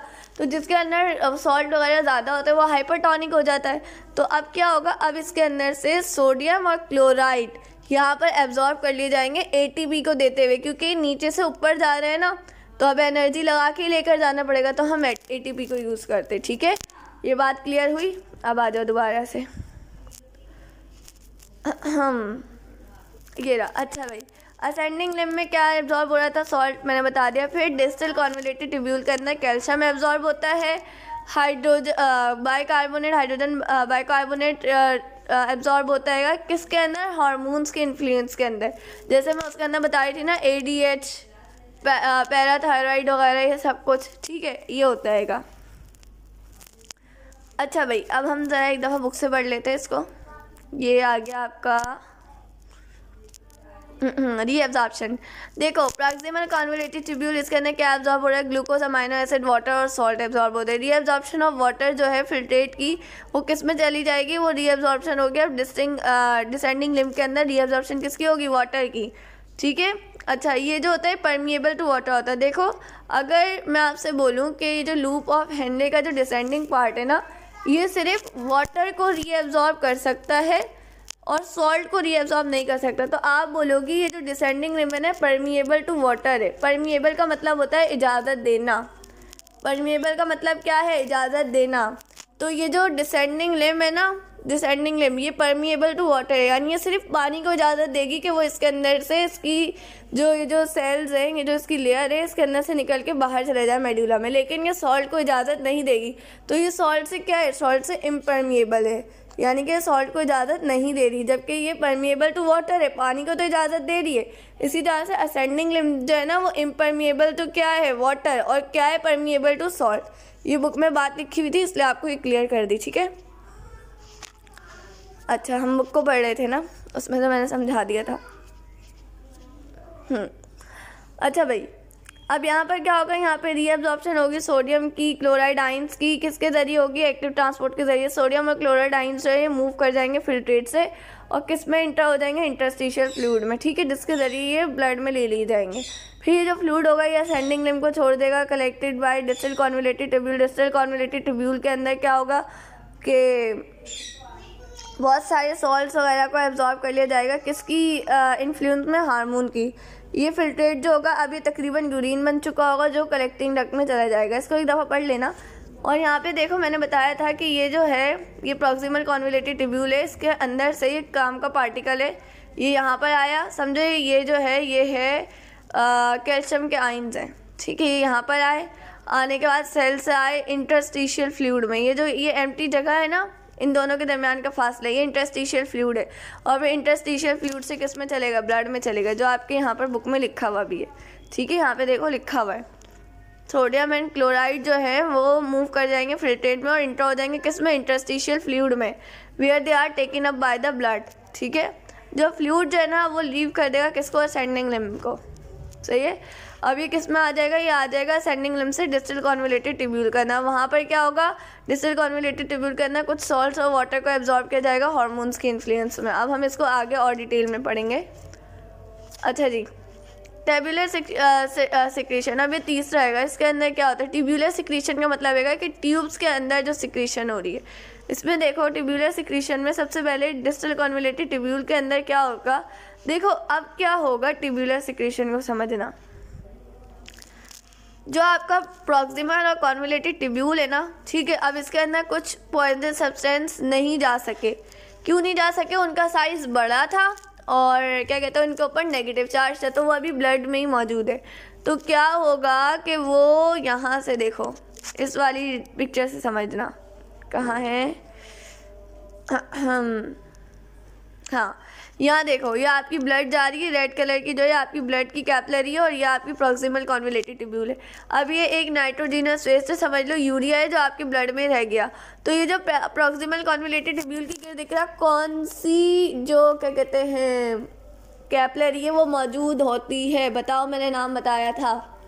पेरी टिब्यूलर कैपलरी ठीक है? मैंने कहा था इसको P C P T C S से करके याद कर लेना। तो वो जो पेरी टिब्यूलर कैपलरी है ना, इसके अंदर एक वेस्ट प्रोडक्ट रह गया है यूरिया क्योंकि उसका साइज़ समझो बड़ा था तो इसलिए वो इसके अंदर रह गया। अब क्या होगा कि हम उसको लेकर आएँगे इसके अंदर प्रॉक्सिमल कॉन्विलेटेड ट्यूब्यूल के अंदर, ताकि वो यूरिया जो है वो किसमें कलेक्टिंग डक्ट में जाकर एक्सक्रीट आउट हो जाए, ठीक है? तो यहाँ पर ट्यूबुलर सिक्रीशन का मतलब क्या हो रहेगा कि प्रॉक्सिमल और कॉन्विलेटेड ट्यूब्यूल जो है ना, इसके अंदर कुछ पॉइजनस सब्सटेंस और नाइट्रोजिनस सब्सटेंस जैसे अमोनिया यूरिक एसिड ये सब कुछ लाया जाएगा। कहाँ से लाया जाएगा? ब्लड में से डायरेक्टली सिक्रीट किया जाएगा इसके अंदर, एक्टिव ट्रांसपोर्ट के ज़रिए। नाइट्रोजिनस वेस्ट जो होते हैं ना, वो एडिड इसलिए किए जाते हैं। Nitrogenous waste are added in the they are actually the molecules which escape the filtration in glomeruli जब ग्लोमिलाई के अंदर अल्ट्रा फिल्ट्रेशन चल रही थी या नॉन सेलेक्टिव फिल्ट्रेशन चल रही थी तो क्या हुआ था कि कुछ ऐसे भी पार्टिकल्स थे जिसने इनको छोड़ जो उसके अंदर से नहीं जा सके थे ग्लोमरिलाई के अंदर से तो वो अब एब्जॉर्ब होंगे।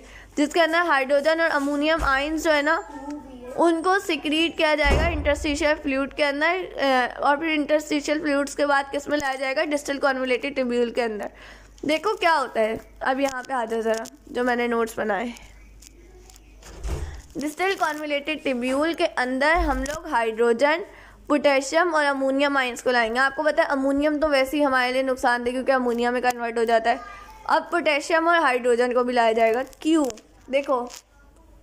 आपके ब्लड के अंदर पोटेशियम जो हाइड्रोजन जो है, वो बहुत ज़्यादा है। समझो, यहाँ पे आ जाओ। ये है आपकी ब्लड कैपलरी जिसके अंदर हाइड्रोजन बहुत ज़्यादा है। ये हाइड्रोजन है सारे। सही है?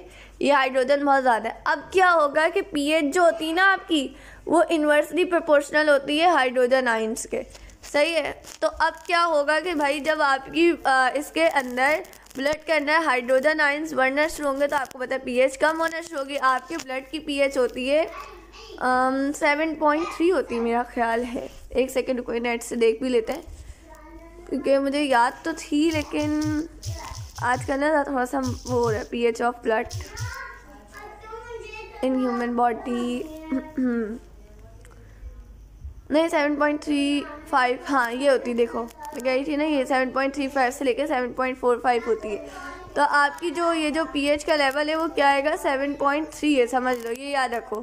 तो सेवन पॉइंट थ्री का मतलब है कि आपका जो पीएच लेवल है तो ये जो सेवन पॉइंट थ्री है ना, ये आपका किसका है? ब्लड का पीएच है। देखो सेवन से सेवन ऐसा पॉइंट है जो न्यूट्रल होता है। सेवन से ऊपर जितना जाओगे seven point one seven point three eight nine ten eleven twelve to fourteen ये सब कहलाएगा बेसिक और सेवन से नीचे जितना जाओगे five four three two one ये सब क्या कहलाएगा? एसिडिक ठीक है? तो अब होता क्या है? यहाँ पर देखो, इसके अंदर मैं दिखा भी दूँ.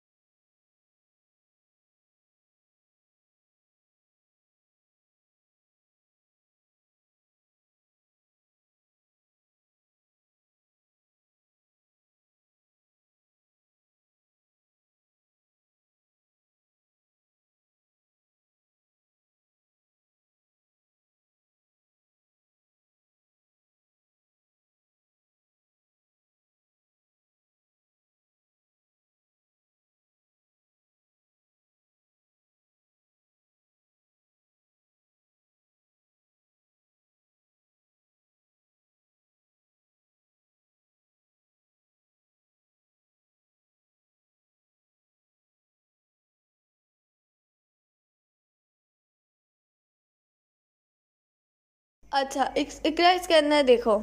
ये रहा आपका ब्लड आपको आपके ब्लड की पीएच दिखा रहे हैं कि देखो सेवन क्या होता है? न्यूट्रल होता है और सेवन से वाटर की पीएच है। अभी याद रखना है तो मैं दो तीन पीएच बता रही ना वो। न्यूट्रल का मतलब होता है ना तो एसिडिक ना बेसिक बल्कि न्यूट्रल है। बिल्कुल न्यूट्रल है। तो आप वाटर पीते हो ना तो वाटर ना तो एसिडिक है, ना बेसिक है न्यूट्रल है, क्योंकि उसकी एग्जैक्ट सेवन होती है पीएच ब्लड जो होती है ना, इसकी होती है सेवन पॉइंट थ्री ब्लड की क्या होती है? सेवन पॉइंट थ्री तो अच्छा इसकी याद रखना। फिर आपके अंदर जैसे आपका स्टमक है, उसके अंदर एसिड होते हैं कुछ पेस्टिन वगैरह होते हैं तो उनकी पीएच होती है। तो ये देखो न्यूट्रल से नीचे जितना इस तरफ़ जाओगे एसिडिक है। इस तरफ़ जाओगे अल्कलाइन यानी बेसिक है। ठीक है? ये बात समझ आ गई? नहीं आई हो तो मुझसे पूछ लेना। अच्छा जी तो मैं आपको बता रही थी कि अब क्या हुआ? आपकी जो ब्लड कहेगा इसके अंदर हाइड्रोजन आइन ज़्यादा होगा। हाइड्रोजन आइन ज़्यादा होने का मतलब है कि पीएच जो है वो इन्वर्सिटी प्रोपोर्शन है। किसके? हाइड्रोजन आइंस की अगर आपकी बॉडी के अंदर हाइड्रोजन की तादाद बढ़ गई है ब्लड के अंदर तो पीएच आपका कम हो जाएगा। यानी कि आपका पीएच है ब्लड का सेवन पॉइंट थ्री, अब हाइड्रोजन बढ़ गई तो क्या होगा? पीएच कम होकर किस पे हो जाएगा? कभी सिक्स पे आ जाएगा, कभी फाइव पे आ जाएगा, कभी फोर पे आ जाएगा तो वो कैसा हो जाएगा? एसिडिक हो जाएगा। एसिडिक तो आपके लिए नुकसान हो जाएगा। समझ आएगी बात? तो क्या किया जाता है कि ब्लड के अंदर ब्लड कैपलरीज के अंदर जो हाइड्रोजन आइंस रह जाते हैं, उनको पोटेशियम को अमोनियम को दोबारा से proximal convoluted tubule distal convoluted tubule में लाया जाता है कि ताकि हम उनको बॉडी में से निकाल सकें। ठीक है? इसके अंदर आप पढ़ लेना। अच्छा भाई काउंटर करंट सिस्टम आपके अंदर काउंटर करंट एक्सचेंज होते हैं ना, वो दो किस्म के सिस्टम होते हैं। मेडिला के अंदर दो किस्म के सिस्टम चल रहे होते हैं काउंटर करंट एक्सचेंज के। इसकी मैं देखो, इसकी शायद मैंने स्लाइड सेव की थी। हाँ ये रही, देखो काउंटर करंट एक्सचेंज का। अब मैं समझाती हूँ। काउंटर करंट एक्सचेंज को समझने से पहले यहाँ पर ये देखो, इसको पढ़ो थोड़ा सा, कि one of the counter current is termed as counter current multiplier दो किस्म के काउंटर करंट एक्सचेंज आपकी बॉडी के अंदर सिस्टम चल रहे हैं। आपकी बॉडी के अंदर काउंटर करंट एक्सचेंज है, जो दो किस्म के सिस्टम होते हैं। एक होता है काउंटर करंट मल्टीप्लायर और एक होता है काउंटर करंट एक्सचेंज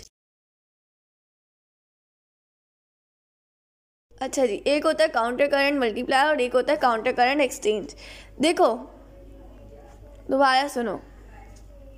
आपकी बॉडी के अंदर एक एक सिस्टम है जिसको हम कह रहे हैं नेफ्रॉन के अंदर एक सिस्टम है जिसको हम कह रहे हैं काउंटर करंट इस काउंटर करंट की दो टाइप्स है, एक काउंटर करंट मल्टीप्लायर है, एक काउंटर करंट एक्सचेंज है. काउंटर करंट मल्टीप्लायर कहाँ कहाँ पर होगा? ये मौजूद होगा असेंडिंग लिम और डिसेंडिंग लिम में। यहाँ पर जो ए, काम होगा ना काउंटर करंट का वो होगा मल्टीप्लायर देखो काउंटर करंट से मुराद ये कि एक साथ ना दो तीन काम चल रहे होंगे। समझ लो बस इतना समझो। अच्छा और काउंटर करंट एक्सचेंज कहाँ पे हो रहा होगा? वाजा रेक्टा में। वाजा रेक्टा कहाँ पर होती है? वाजा रेक्टा मैंने बताया था ना लूप ऑफ़ हेनले के पास एक कैपलरी जारी होगी। कैपलरी क्या होती है? खून की नाली वो जारी होगी। उसको हम कहते हैं वाजा रेक्टा ठीक है? ये, इसके अंदर क्या होगा? इसके अंदर काउंटर करंट एक्सचेंज होगा। अब होता क्या है? अब आ जाओ यहाँ। देखो, हुआ ये कि वाटर को एब्जॉर्ब किया गया वाटर आ गया यहाँ पर। और यहाँ से आना शुरू हो गया सॉल्ट अब क्या होगा? देखो वाटर भी आ रहा है सॉल्ट भी आ रहा है तो ये कैसा हो जाएगा? ये आइसोटोनिक टाइप सा इन्वायरमेंट हो जाएगा।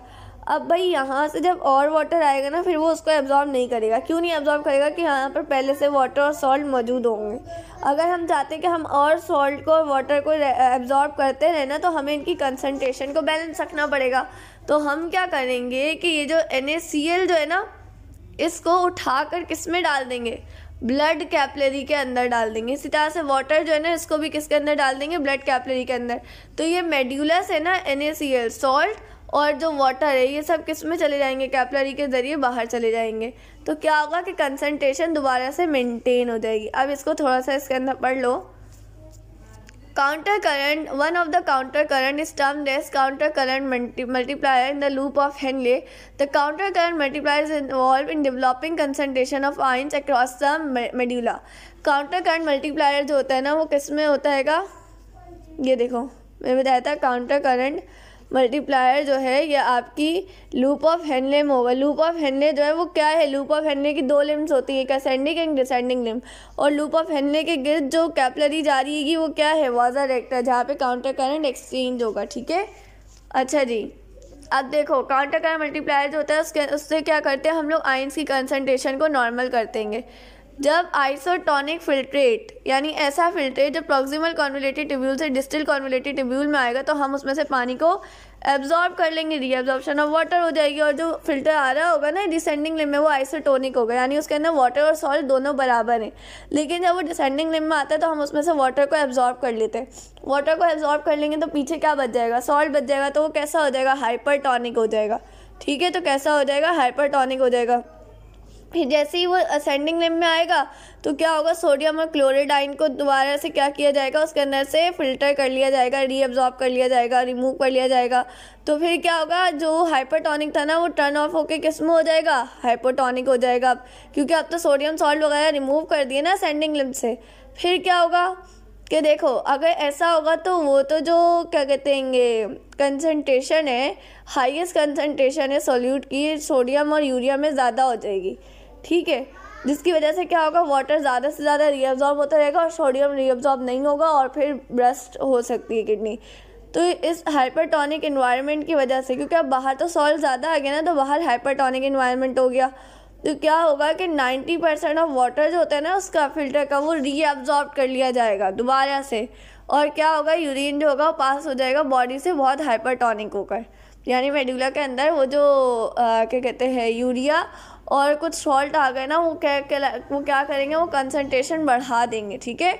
अच्छा अब जो दूसरा काउंटर सिस्टम चल रहा होता है वाजा रेक्टा में, वो क्या होता है वो ब्लड वेजल होती है ठीक है? जो लूप ऑफ़ हेनले के पैरल चल रही होती है, उसके साथ ही। जिसके अंदर से सिर्फ़ एक परसेंट जो ब्लड होगा ना, वो किडनी में से फ्लो करेगा वाजा रेक्टा से, और बहुत स्लो स्पीड में। तो ब्लड क्या करेगा वाजा रेक्टा को हमने जब वाजा रेक्टा क्या करेगी, अपने अंदर सोडियम वगैरह इन सबको एब्जॉर्ब करती हुई ले जाएगी। अगर, अब देखो हम, हमें ना वाजा रेक्टा को ना ऑक्सीजन प्रोवाइड करनी होगी उसकी नरिशमेंट के लिए। क्योंकि जो भी सेल होते हैं ना, वो, उनको जब तक ऑक्सीजन नहीं मिलेगी ना, वो काम नहीं करेंगे। ठीक है तो हम उनको क्या करते हैं, हम उनको ऑक्सीजन प्रोवाइड करते हैं उनकी नरिशमेंट के लिए। तो वो क्या करते हैं वो वाटर जो एब्जॉर्ब होता है ना, उसको फ़िल्टर कर देंगे बिना किसी अफेक्ट किए हुए कंसनट्रेशन को किडनी की, ठीक है? अब ज़रा यहाँ आ जाओ। इसको देखो। मैंने एक बॉक्स जो था ना, वो यहाँ पर ना छुड़वा दिया था। इस बॉक्स को समझ लो, कहाँ गया वो बॉक्स ये वाला बॉक्स कह रही मैं। ठीक है? इस बॉक्स को समझो। ये रहा, देखो। ब्लड हमारी बॉडी के अंदर टोटल कितना ब्लड है? पाँच लीटर। और हमारी किडनी एक दिन में कितना ब्लड जो है वो आ, फ़िल्टर करती है एक हज़ार से दो हज़ार लीटर तक। यानी कि जो पाँच लीटर ब्लड है ना ये किडनी से कितनी दफ़ा गुजरता है? चार सौ दफ़ा गुजरता है। ठीक है? अगर आप दो हज़ार को पाँच से डिवाइड कर दो चलिए फाइव पंजा फाइव फाइव फोर ज़ा ट्वेंटी और ज़ीरो ज़ीरो तो हमें पता चल गया कि जो पाँच लीटर ब्लड है, ये कितनी दफ़ा किडनी में से गुजर रहा है? फोर हंड्रेड टाइम्स गुजर रहा है, ठीक है? अच्छा जी, फिर उसके अंदर नेफ्रॉन और किडनी नेफ्रॉन के पास जो फिल्ट्रेट जाएगा ना, वो 180 लीटर जाएगा, क्योंकि जब हाई प्रेशर जनरेट होगा ग्लोमनस में तो कुछ उसके अंदर से फिल्ट्रेट जाएगा नेफ्रॉन के अंदर। तो नेफ्रॉन कितना फ़िल्टर करता है एक दिन के अंदर? 180 लीटर जो है वो फिल्ट्रेट करता है। और उसके अंदर से किडनी यूरिन कितना एक्सक्रीट करती है एक दिन में? सिर्फ़ एक से दो लीटर यूरिन करती है। वो किसकी वजह से होता है? वो ये काउंटर करंट एक्सचेंज वगैरह, इन सब की वजह से होता है। इसको पढ़ो। हो सकता है काउंटर करंट समझने में थोड़ी सी डिफ़िकल्टी हुई हो, लेकिन कोशिश करना कि थोड़ा बहुत समझ आए। नहीं आए तो मुझसे पूछना। अच्छा जी। अब बात करते हैं adaptation of kidney and affect of hormone on it देखो, इंसानों की जो किडनी है ना, अब वो थोड़ा सा ना उसके जिस हैबिटेट में वो रहता है ना, उस हिसाब से होती है। देखो फॉर एग्ज़ाम्पल हम इंसान ज़मीन पे पाए जाते हैं ना तो हमें अपने बॉडी के अंदर पानी को ज़्यादा रखना पड़ेगा। तो हमारी के जो नेफ्रॉन होता है ना, उसका लूप ऑफ़ हैंडले की जो लेंथ होती है ना, वो बड़ी होती है। ठीक है? समझ आ रही है बात? अच्छा भाई लेंथ बड़ी होती है तो जिस भी नेफ्रॉन की लूप ऑफ़ हेनले की लेंथ बड़ी होगी, वो ज़्यादा पानी एब्जॉर्ब करेगा और जिस नेफ्रॉन के लूप ऑफ़ हेनले की लेंथ कम होगी, वो कम पानी एब्जॉर्ब करेगा। जैसे कि यहाँ पे लिखा हुआ है कि degree of concentration of urine is determined by the length of loop of Henle अगर लूप ऑफ़ हेनले बहुत बड़ा है तो यूरिन भी बहुत कंसनट्रेटेड आएगा, गाढ़ा आएगा और उसके अंदर से बहुत सारा पानी एब्जॉर्ब कर लिया जाएगा। लेकिन अगर लूप ऑफ़ हेनले छोटा है तो पानी कम एब्जॉर्ब होगा और क्या होगा? कि वो पानी जो है वो आपका, क्या कहते हैं ज़्यादा उस, क्या कहते हैं, इतना ज़्यादा एब्जॉर्ब नहीं होगा, क्योंकि आप ऐसे इन्वायरमेंट में होगे ना। अब देखो, हम इंसान ज़मीन पे पाए जाते हैं ना तो हमारा लूप ऑफ़ हैंडने बड़ा होता है। जबकि वो जो मछलियाँ वगैरह इनका लूप ऑफ़ हैंडने छोटा होता है। हमने पढ़ा था किडनी के दो पार्ट होते हैं कॉर्टेक्स एक मेडुला तो हमारा लूप ऑफ़ हैंडने इतना बड़ा होता है कि वो मेडिला में आ रहा होता है लेकिन जो आ, ऐसे एनिमल्स होते हैं जो पानी में पाए जाते हैं ना उनका लूप ऑफ़ हैंडले छोटा होता है जो सिर्फ़ कॉर्टेक्स में रहता है। इनको हम कहते हैं कॉर्टिकल नेफ्रॉन क्योंकि सिर्फ़ कॉर्टेक्स में ही शुरू होकर उसी में ख़त्म है। जबकि इसको हम कहते हैं जो जिसका लूप ऑफ़ हैंडले बड़ा होता है उनको हम कहते हैं जोगजटा मेडुला नाफ्रन। जोगजटा मेडुला नाफ्रन जो है वो आपके कॉर्टेक्स में भी आ रहा है और आपके मेडुला में भी आ रहा है ठीक है? अच्छा जी। इसको पढ़ना, इसमें कुछ ना समझ आया तो मुझसे पूछना जब तक देख लूँ। और कुछ इसमें है नहीं। इसको पढ़ो अच्छा ये देखो। कलेक्टिंग डक्ट है, इसके अंदर जब यूरिन आ जाता है तो वो पेल्विस के ज़रिए देखा, यहाँ से ड्रॉप हो जाता है, यहाँ से ड्रॉप होकर फिर वो जाता है यूरिटर में। तो ये जो है ना, ये आपके एक पैरामिड का स्ट्रक्चर है तो इससे आपको थोड़ा सा क्लियर हो गया होगा कि पेल्विस का स्ट्रक्चर कैसे बन रहा होता है ठीक है? अच्छा भाई। अब बात कर लेते हैं हार्मोन्स के अफेक्ट की। हार्मोन्स का इफ़ेक्ट क्या होता है? देखो, इसके अंदर इतना क्या याद रखना है? इसको ज़्यादा डिटेल में नहीं पढ़ना है, इसके अंदर दो बातें याद रखनी है। नेफ्रॉन की किडनी के जो हार्मोन्स होते हैं, इनके से किडनी के जो नेफ्रॉन होते हैं, उनके सिर्फ़ दो टाइप्स है। एक जुगजिटा मेडिलरी नेफ्रॉन और एक कॉर्टिकल नेफ्रॉन कॉर्टिकल नेफ्रॉन का लूप ऑफ़ हैंडले छोटा होता है और ये ज़्यादातर इक्वेटिक एनिमल्स में पाया जाता है जो पानी में होतेंगे और जुगजिटा मेडिलरी नेफ्रॉन जो है, वो टेरिस्टल ऑर्गेनिजम्स में पाया जाता है, क्योंकि वो ज़मीन पर पाया जाता है और लूप ऑफ़ हैंडले जितना ज़्यादा बड़ा होगा, पानी उतना ज़्यादा एब्जॉर्ब होगा और यूरिन उतना गाढ़ा, उतना कंसनट्रेटेड प्रोड्यूस होगा। ठीक है, बस इतना याद रखना है और कुछ नहीं याद करना है इसमें से। ठीक है?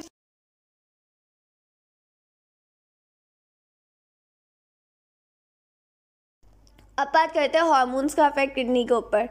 देखो कलेक्टिंग डक्ट जो होती है ना उसके अंदर भी क्या होता है वाटर को एब्जॉर्ब किया जाता है। बात मैंने बताई थी ना कि ये जो ए, ए, आ, हमने उसके अंदर पढ़ा था मैट्रिक की बुक के अंदर कि एंटी डायूरेटिक हार्मोन इसका एक दूसरा नाम होता है वेजो वेजो प्रेजेंट ठीक है? वेजो प्रेजेंट और एंटी डायूरेटिक हार्मोन कहाँ से रिलीज़ हो रही पोस्टीरिया पिचुइटरी से। ये तो मैंने उसके अंदर बहुत डिटेल में दिखाया था ठीक है? ये सब आपको समझ आ रहा होगा। तो ये क्या करता है एंटी डायूरेटिक हार्मोन आपकी बॉडी आपके जो नेफ्रॉन है इसके पास आता है और कलेक्टिंग डक के बाद जाके कहता है कि पानी को ज़्यादा से ज़्यादा एब्जॉर्ब करो। ये कब होता है? ये डिहाइड्रेटिंग कंडीशन में ज़्यादा प्रोड्यूस होता है ए डी एच ठीक है? एक सेकेंड रुकना।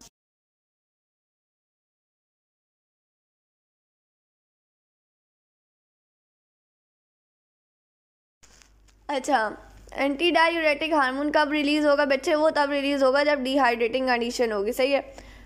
किसके रेस्पॉन्स में आ, कब एंटी डायूरेटिक हार्मोन का दूसरा नाम क्या आएगा? वैसा प्रेजेंट है। इसका काम क्या होगा? इसका काम होगा वाटर को रीअब्जॉर्ब करवाना है किसके अंदर? कलेक्टिंग डक के अंदर ठीक है? अच्छा भाई जो सोडियम आइन्स है उनकी कंसनट्रेशन को बॉडी फ्लूड्स के अंदर मेंटेन रखना। मतलब हमारी बॉडी के अंदर जो एन पॉजिटिव आइन्स होते हैं इनकी भी ज़रूरत होती है ना तो इनको मेंटेन रखने के लिए हम एक किस्म का हार्मोन आता है हमारे पास हमारे नेफ्रॉन के बाद जिसको हम कहते हैं एल्डोस्टिरोन ठीक है? क्या होता है? एल्डोस्टेरॉन। एल्डोस्टेरॉन कहाँ पर, कहाँ से आता है? एडर्नल कॉर्टेक्स के पास से। अब ये ज़रा समझो।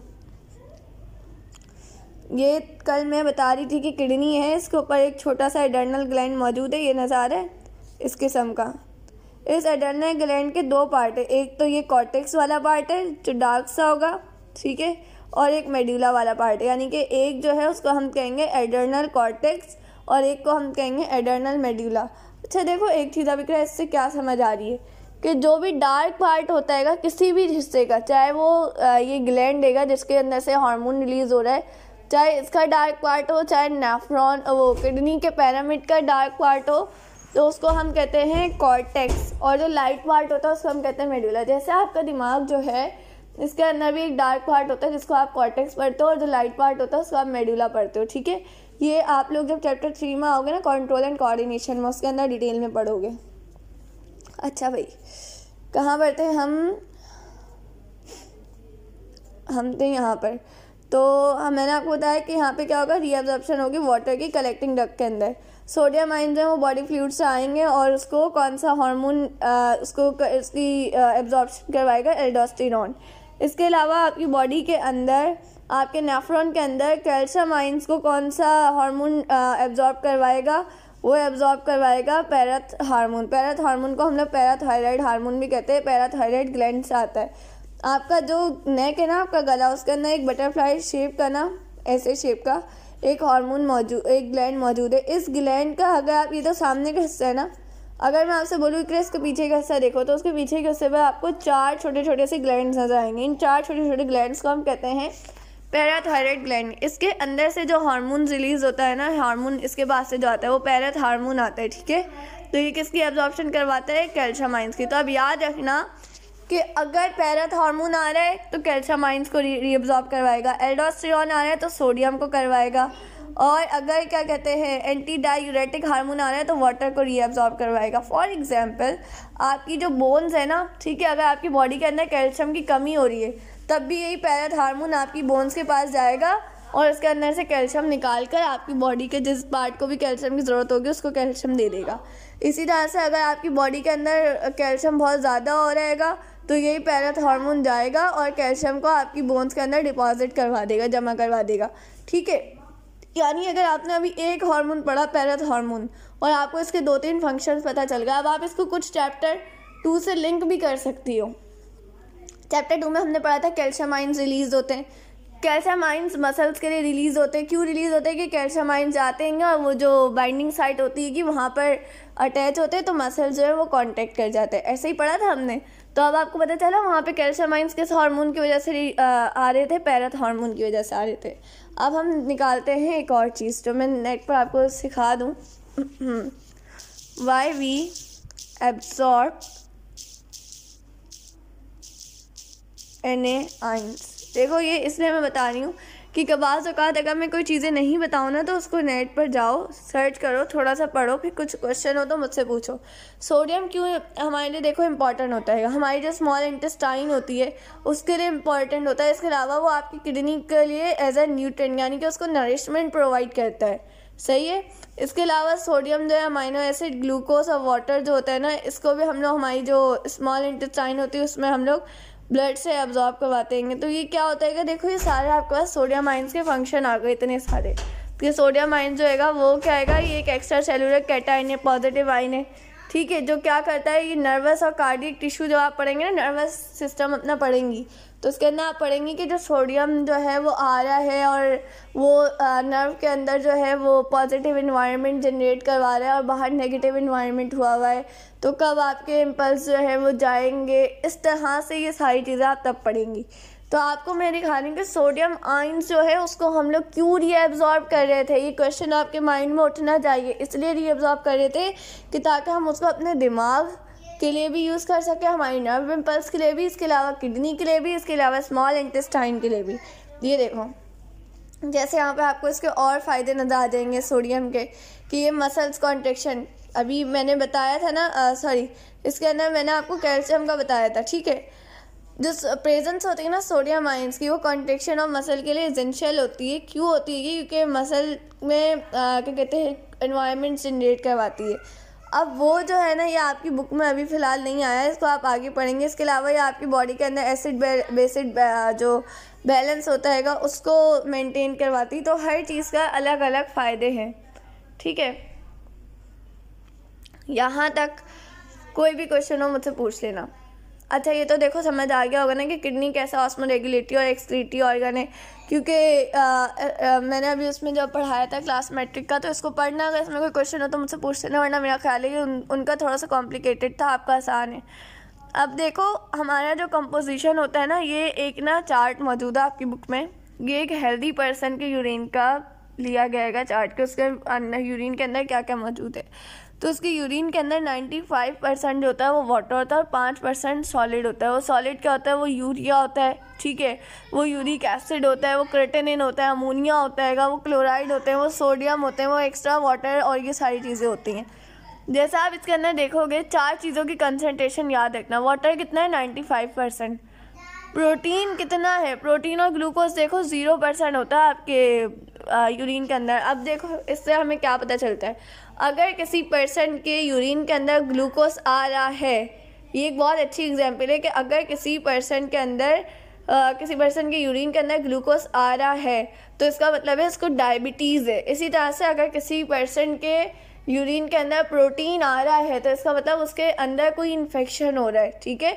और इसका पीएच नॉर्मल पीएच क्या होता है? फाइव होता है। अगर पीएच ज़्यादा या कम हो जाए ना यूरिन का तो बताए क्या होता है? तो स्टोन्स बनना शुरू हो जाते हैं, पत्थर बनना शुरू हो जाते हैं, ठीक है? पथरी हो जाती है। तो अब आप ये देखो कि जो एनालिसिस होता है कंपोजिशन का यूरिन की, वो इंपॉर्टेंट होता है। क्यों इंपॉर्टेंट होता है? क्योंकि उससे आप क्या कर डिज़ीज़ कर सकते हो। आप उससे मेटाबॉलिक डिसऑर्डर्स का पता कर सकते हो इन्फेक्शन का पता कर सकते हो इसके अलावा आप प्रेगनेंसी का पता कर सकते हो। क्योंकि आजकल क्या होता है कि यूरिन के ज़रिए लोग इस चीज़ का भी पता कर सकते हैं कि वो जो है वो इस टाइम क्या कहते हैं प्रेग्नेंट है या नहीं है। ठीक है, यानी प्रेगनेंसी का पता करना।